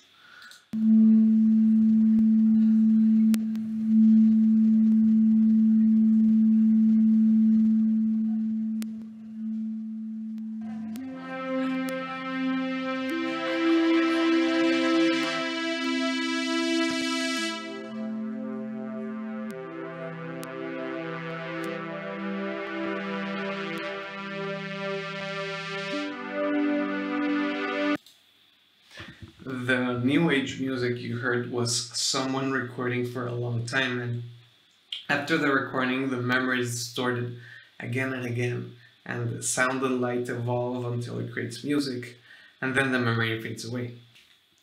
All the spheres had light, a microphone and a small computer inside and the the only difference is one played low notes, one middle notes and one high notes so it was an instrument influenced by the voices of people.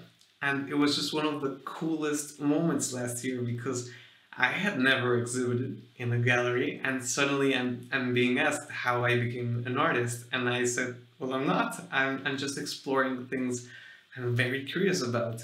And I don't know if that's art, but it's very exciting. We then had the opportunity to exhibit the project at Ars Electronica and we wanted to level up.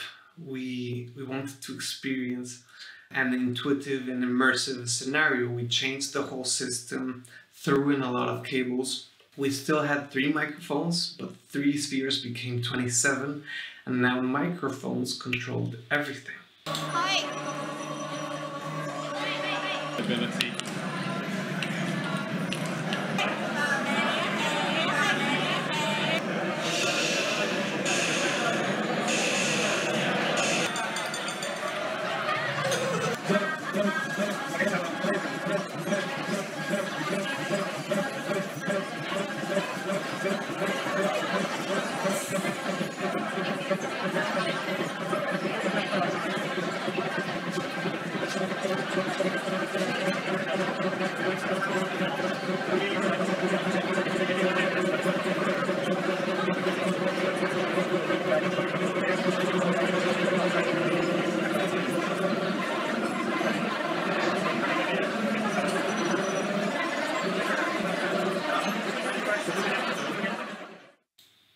and that was both a lot of fun and very intense but it was inspiring to see people interact with our work without instruction. And these were some of the different light scenarios triggered by people.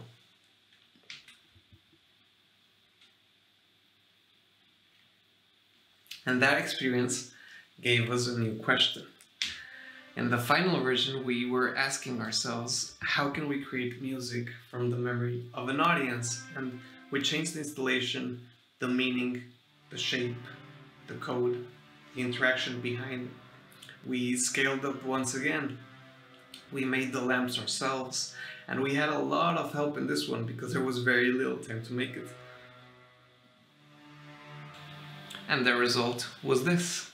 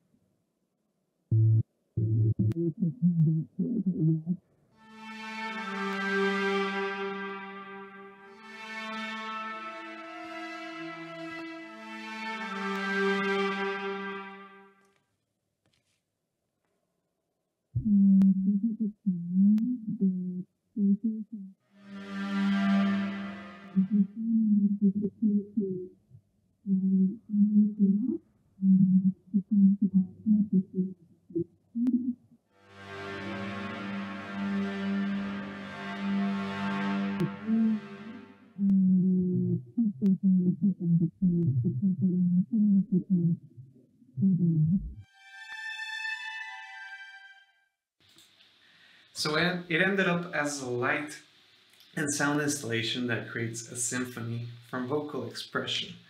It musicalizes everything you say and it shapes sound to light. Meaning if you say something quickly, it creates a light ripple, and if you say a long speech, it makes a beautiful sound and light experience. I, I look at this and I wonder, is this art, sound, light, code, design?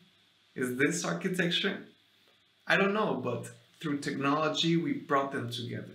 And it's challenging, but when it works, it's the most amazing thing. It's almost miraculous, and it makes me realize the following couldn't be more true. The roots of education are bitter, but the fruit is sweet. And when it comes to creativity, it's so, so, so sweet because it's opening so many avenues for exploration. And I can't wait to see what new doors technology opens for art. Thank you very much for your time. And I'm happy to take any questions, um, hoping I can answer uh, some of them.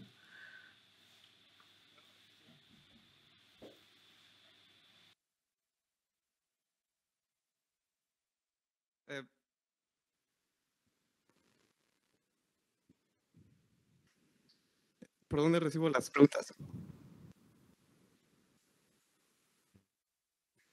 Oh.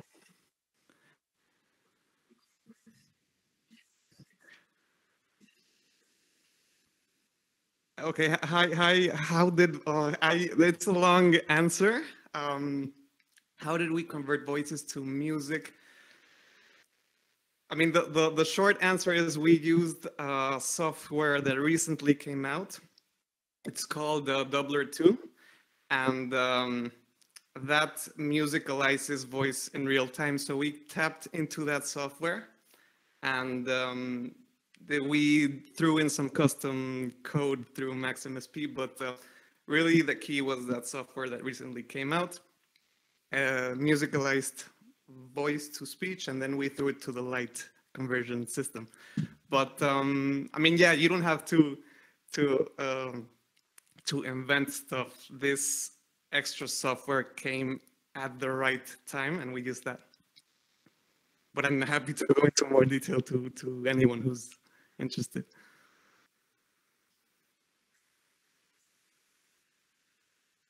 Uh -huh.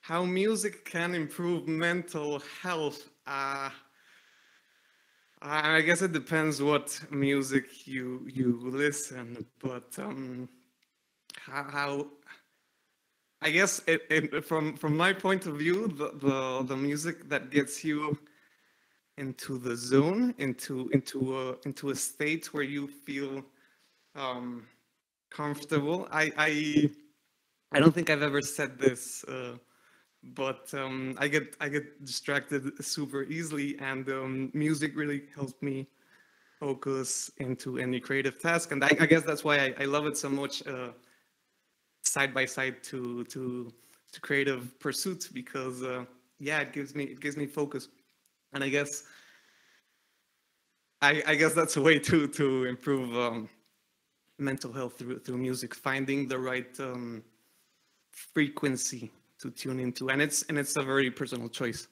Uh, it's not a specific set list that you have to listen to.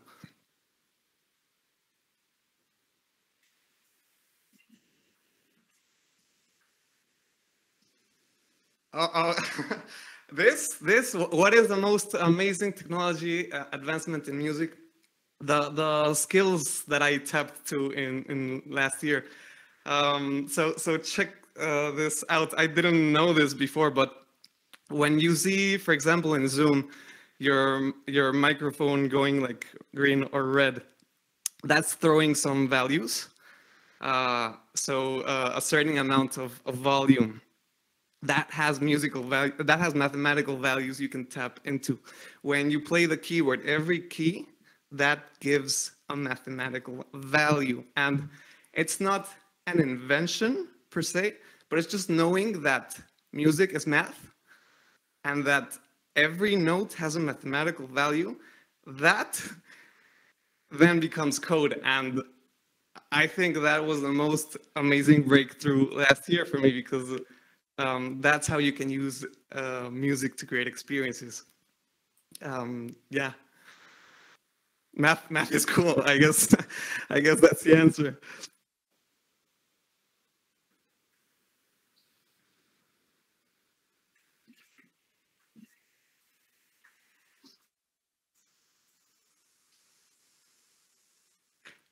Um, sound dynamics into architecture. This was, I mean, the, the, the last installation, um, the one with Choi I showed, that was getting nearer to, to architecture. It's still pavilion scale, but um, but yeah, I guess it's the next steps. Uh, we are we are pitching right now to light festivals, and um, that's gonna be a bigger scale, and it's gonna be a bigger scale. Well, not necessarily, but it's gonna get bigger. Uh, I mean, architecture from from from what I've experienced, it takes a lot of budget and a lot of things have to happen to to to build things. Not just money or the clients, but um, like a lot of legal things have to go through. And um, as as uh, as opposite to installations, those yeah require things, but um, the budget and the legal constraints are a lot smaller. So um, no, I, I, I, I haven't gone full on building scale, but uh, yeah, it's, it's a start installations and pavilions or a start. Have you tried to implement what you have showed us tonight in a home design? Uh, could you repeat the question? Have you tried to implement what you have showed us tonight in a home design? Um, what I what I showed you in a home design. No, I haven't. And in fact, I'm I'm not.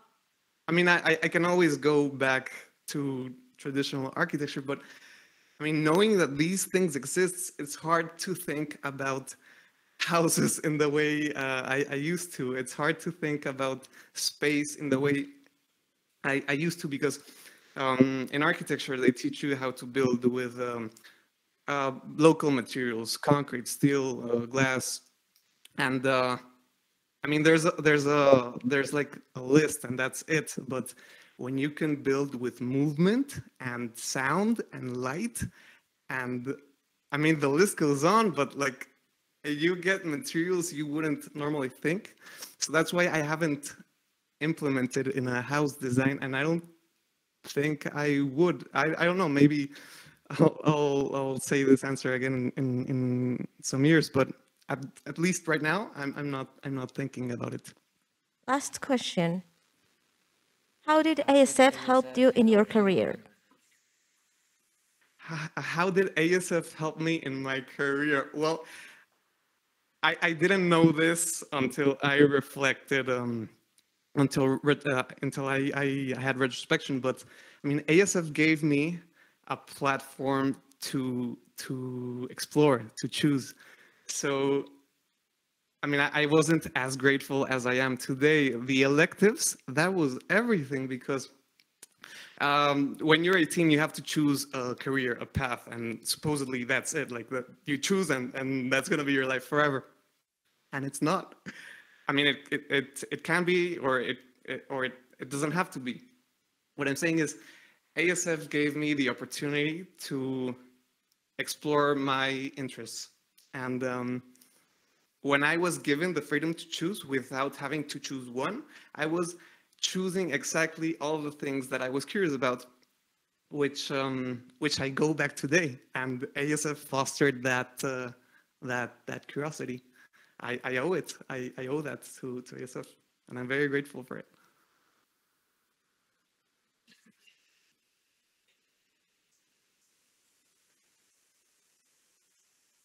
I, I, I want to say one last thing that I that I thought this morning, and uh, with the things we are doing with technology right now and, and art, I don't know if they're art or if they can call be art, but what I do think is art is looking into your soul and your uh, core beliefs, your core interests, and offering that to the world. That's the most beautiful thing anyone can do. And uh, in regards of technology affecting the human experience, um, being able to offer that to the world, I, I think technology is giving us um, very unique keys we didn't have before. Um, so thank you very much for your time.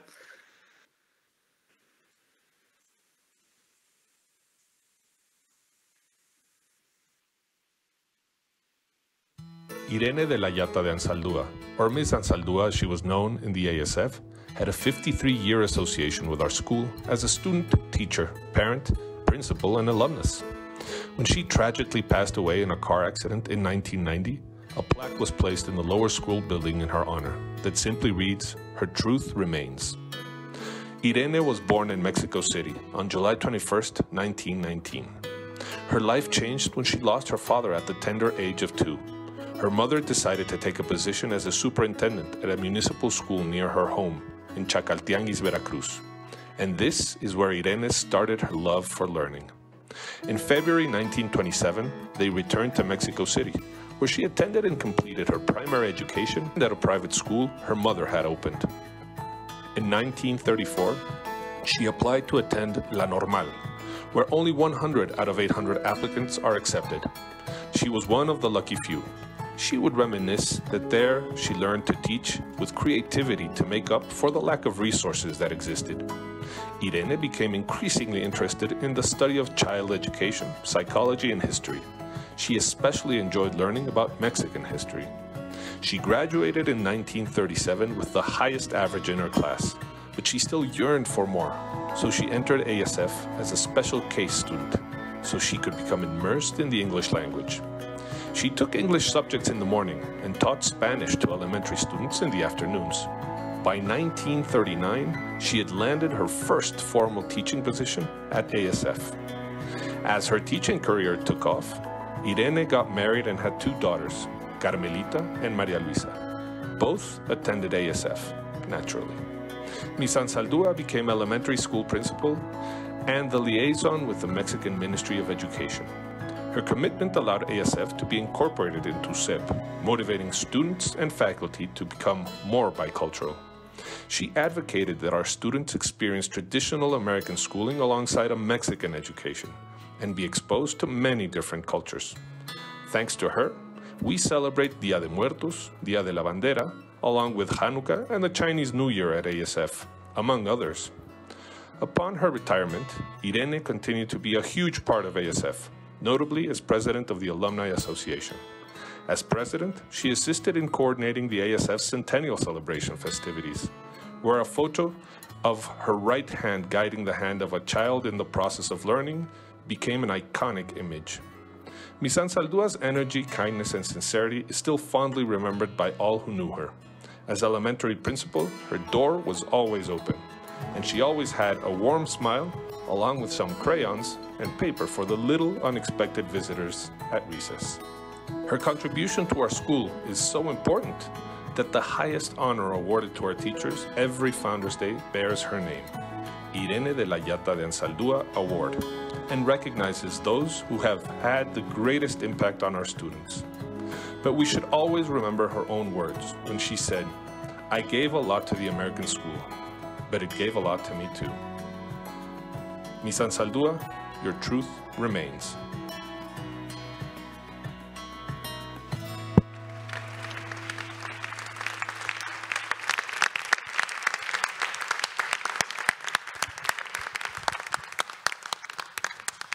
Ay, qué emoción, está muy bonito lo que dijeron de mi mamá. Este, mi mamá amó a esta escuela y yo creo que estaría muy contenta de que se le reconociera hoy. Linda que estuvo con ella. Quiero hablar en español porque para mi mamá era muy importante que esta escuela siempre fuera bicultural. Y esa es una de las cosas que ella promovió siempre. Y la verdad es que mi mamá fue muy feliz aquí. Estaría muy feliz de estar hoy y de ver que se le reconoce el trabajo que hizo para esta escuela. Y yo creo que lo que dice ahí al final, mi mamá no hubiera sido la misma sin la escuela, pero esta escuela no sería esto sin mi mamá. Eso lo creo profundamente. Y les agradezco a todos su asistencia.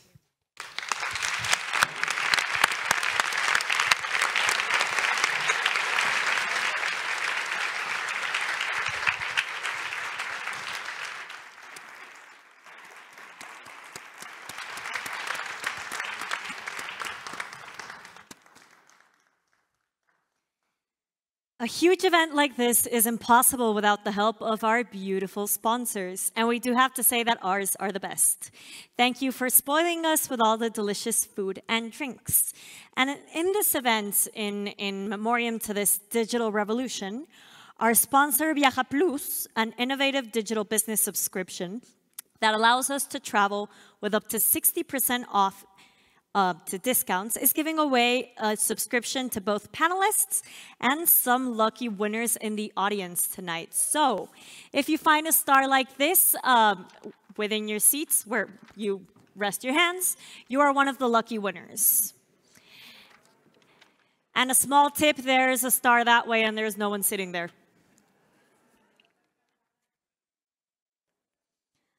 Also, for those that did not have the opportunity to join us physically today, you can find different um, giveaways, discounts, etc. in the link above.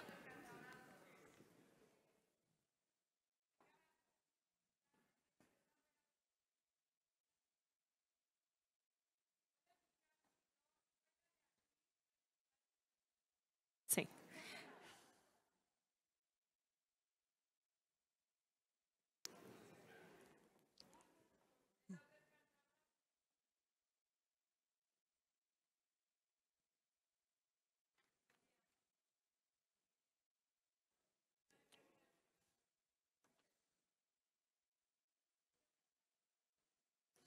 Find them to travel 60% off.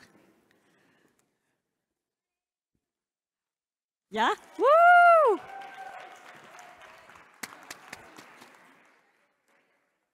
Super, congratulations.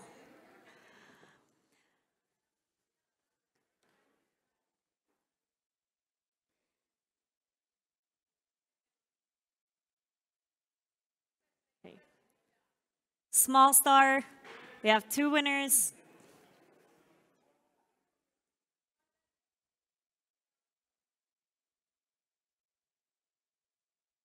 Woo! Third winner. Congratulations.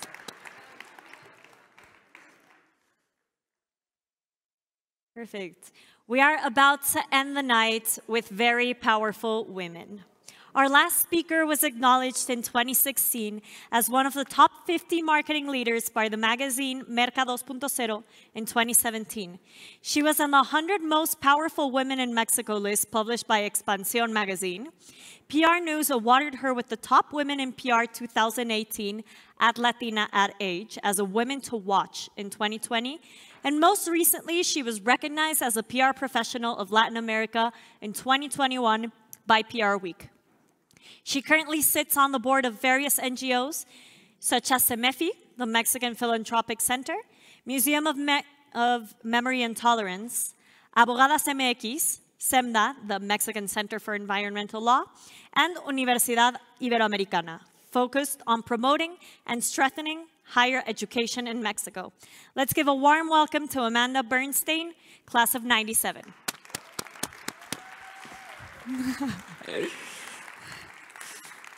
Hi, everybody. I get to be the last, which I don't know if it's such a great idea, so I'll be really, really fast. Um, thank you very much for, for inviting me. I'm very happy to be here. Can I have the presentation on the screen? So I'm going to talk about something totally different, obviously about PR, media, communications, and it has to do from politics to brands to cancel culture. And basically, it's the impact of technology in our media landscape today. Um, so COVID-19 pretty much disrupted every part of our lives, including our media, social, and, and, and all our media habits. It affected public health, obviously, information systems, economic landscape, and our media consumption. But media, social media, and brands were changing before COVID, and the pandemic just greatly accelerated that change. So understanding how media is created, discovered, shared, consumed is more critical than ever, and especially because we're talking about technology and the impact technology has on our media world. So many of the media habits um, formed during COVID could stick around for the long haul. A lot of the lo-fi production that we saw during COVID, we're seeing um, today. Um, also, and I think this this is what you know I really am passionate about how companies and brands are involving their communications not only because of what we lived um, through COVID and, and with the COVID impact, but in general, how culture is changing the way we communicate, inside out and outside in. And we'll talk about this a little further ahead. So basically, I'm going to talk about four emerging trends that we see in media today. One is updatedness versus understanding. A modern content canvas, which I'll talk about, a new definition of culture, which is very different than the traditional concept of culture that we have, and especially purpose leadership and how companies are becoming social platforms of change. So, the kind of sort of scary rise of updatedness. We're obsessed with, being updated. And this is sort of what our feed looks like. I mean, we're totally into listening, checking, revising. We go from LinkedIn to Facebook, from Facebook to TikTok, from TikTok to Instagram stories. And it's incredible how much content we're consuming, but are we understanding what we're consuming?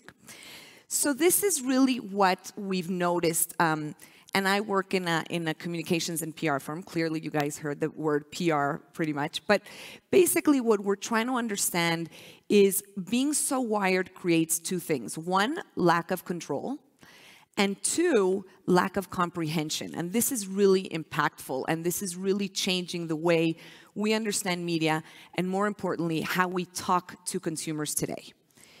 So anyone plugged in is left sort of combating updatedness versus understanding. And this is driving a search for reliable information as a society into very different alternative sources. So you obviously have citizen content, right, which is us taking uh, you know, out our phone and really catching somebody doing something and then sharing it. We're doing deep reporting. We're finding that also deep length um, format is important, especially when we were talking about health and COVID 19. We wanted to get more details and more information. Twitter is definitely a source of information. Data visualization and simulations have become an input, an important input of information. Um, Employer and internal communications, this has changed dramatically. We used to be talking about internal communications like the HR person sending an email. That has totally changed because companies became health companies in a way during COVID. So they really had to communicate differently to their employees. And finally, content aggregators or newsletters. We've become, and we've become obsessed, sort of, our inbox is our new newsfeed with these five, you know, the five top um, things from CNN. So we still talk about traditional media and social media way too separately. And what I want to show as our second trend is really understanding, sorry, the modern can content ca canvas and understanding that it's a platform world. And agility, which we used to understand as speed, is really no longer about speed, but format. So you have images, you've got podcasts, you've got audio, you've got chat, you've got alerts, you got video, you got memes, and you got GIFs. And really the challenge that we have today as brands is how we make our story travel through these different platforms. And obviously, there's a new modus operandi. There's definitely media innovation. You know, when I started 15 years ago in PR, press release, everything was, you know, the press conference and the press release. Sorry, whoops. Now it really works. um, now we're talking about online video. Desk guide, desk guide briefings have become, you know, AR. Media open houses are now virtual reality. B-rolls are multi-channel social video. So, I mean, I'm, you know, this is just a list of examples of how we're transforming and innovating when it comes to telling our story. Um, for some, short form is still king. TikTok, my daughter who's here in the audience um, loves TikTok, and she's convinced that TikTok educates us. And we just started, and we just started working with TikTok, so we're going to be doing more education through TikTok, um, Instagram stories, the meme culture. Others are definitely, and we're seeing a, a, rise of slow content, helping us understand and deconstruct this misinformation. Definitely, podcasts are on the rise. Before COVID, they started during COVID, they stopped because we really got into live videos. Now we're sort of sick of another Zoom and another live video, and we're back to hearing podcasts. Um, definitely, we're seeing visual based customer experiences like visual based commerce, visual based search, shoppable media, interactive live video. So, here again, you see how technology is changing not only the way we read, consume media, what we um, how we share information, but also how we're buying and shopping. And another thing that I find extremely interesting has to do with the gaming and streaming world as a source of information and community. Um, I was just in South by Southwest in Austin. I've never felt uh, more as a middle-aged white mom in, in this sort of innovative landscape. But one of the things that I found that was really interesting had to do with the gaming world and how it's become a major source of information, but also mainstream. It's not only the geek world, brands want to be talking to gaming communities. So finally, um, everything's intersecting, everything matters, technology, economy, media, policy, marketing, communications are in the middle. And the very definition of culture is changing. It's become more political, more activist. It's not anymore this, this concept of pop culture. We have traditional culture that we have to take into consideration. We've got current affairs. So this whole definition of being sensitive and and really thinking of culture has become incredibly important when we communicate. Um, and it's also accelerated something that's super important that has to do with social impact and brands becoming platforms of social change. And one of the things that I really believe in is purpose leadership and how businesses have to create value and really have to talk to us much more of, you know, what they're doing and why they're doing than what they're selling. And I think these are a few key trends that we have to take into consideration when we talked about purpose leadership and social impact. The first thing is authenticity. External image demands internal credibility. The time of greenwashing is gone. Everybody can totally smell a hundred miles away if something is fake and it's just sort of an outward campaign. Then you have this whole idea, and we're seeing it much more, where values and authentic value are becoming the way brands are communicating. So instead of talking to the masses, we're actually talking to the minorities. Um, and that is really building reputation to getting to the broader um, audience. So we have something like CVS, which I love this case, which is called Beauty Unaltered, which is a, a logo that they have for all the campaigns that are not edited or are not um, uh, thinned or, or changed. We have Xbox adopting their, their players or consoles for kids who have disabilities. And one of my favorite cases is IKEA um, that did a hack where people with disabilities actually helped them design, um, design eh, you know, lamps and furniture that was accessible for them. We're also seeing um, Uno, you know, doing cards with um, with the idea that there's people that don't see colors and are and are you know are blind. So we got to talk about that. We have Clear Channel that is using their out of home um, presentation to use it as an alert system. And finally, we have Airbnb, which we saw now is housing people and helping people in Ukraine. So this is an age of everything, an age of overload. So what I want to leave you with is your content strategy helps you find meaning for a brand. It expresses your values, it finds your audience, and slows the scroll. Our challenge is to slow the scroll. Make information and a story that is relevant. It adds context to a story, and most importantly, it helps your news travel in this modern content canvas through different channels. So brands need a reason to speak, and we need a reason to believe. And I don't know if I have time. I wanted to show, um, I won't go into the videos, I think we're totally over time, but this is one of my favorite cases. It's called the Climate Store. And basically what, they're do, what they did in Sweden, it's a supermarket in Sweden, and they gave, they listed every item with their carbon dioxide equivalent. So the price is not based on the actual price of how you sell a product, but it's based on the carbon dioxide footprint of the product. So that's a really interesting story. Um, so you have a video if you want to see it, Climate Store um, by Felix. I think we'll skip this video because it's not, there's no sound, but it's a great story. Um, and then finally, the other case that I wanted to show you guys has to do with um, AB InBev Michelob. Um, and they wanted to showcase that their beer was brewed by the sun, by solar panels. So they partnered with Maluma to create music that has the sound of the sun. So let's play this video, please. So this is the end of the presentation. I hope um, you found it interesting and, and, and you really have a new point of view on three things. One, how technology is impacting information and our media consumption, how we have to think, how stories have to travel through different platforms, and finally, how impact and social purpose is becoming the new corporate voice for brands. Um, and that's it. Thank you very much.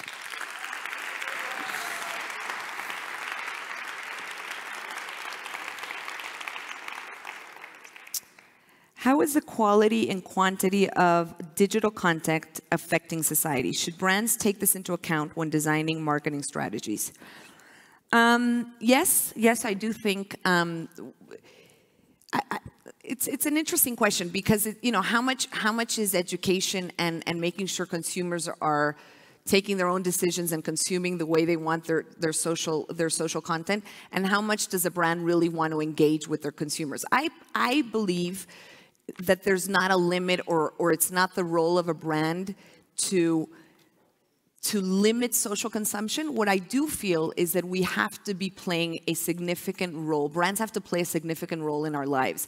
And if they're not playing a significant role in our lives, then we won't even consume what they're telling us.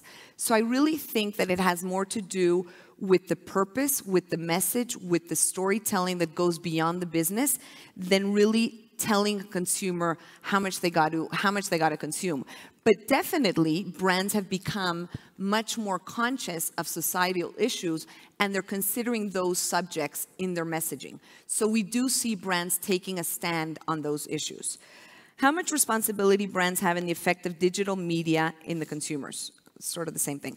I think it has to do with social purpose and, and, and how brands really can push the social agenda. We saw it with the gaming community. There wasn't a lot of girls in gaming. And Activision, which is a huge um, um, gaming uh, brand, has really pushed the agenda and included more women in gaming. So I do feel that brands can change our world? Yes, I do believe that. And I do believe that this is something that they'll definitely be able to consider in their storytelling and in their corporate narrative, for sure. I don't know if everybody or anybody else has a question. No? Super. Thank you very much.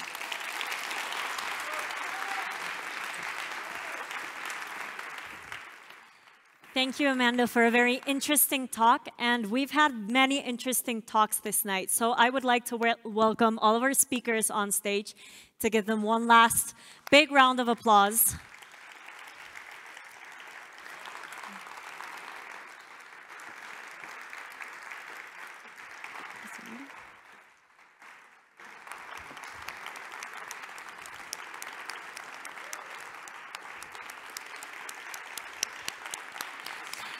Thank you so much for joining us tonight and for speaking tonight. We invite you all to enjoy a wonderful cocktail in the Fine Arts Center lobby and in the cafeteria to further um, keep talking. Thank you for joining us.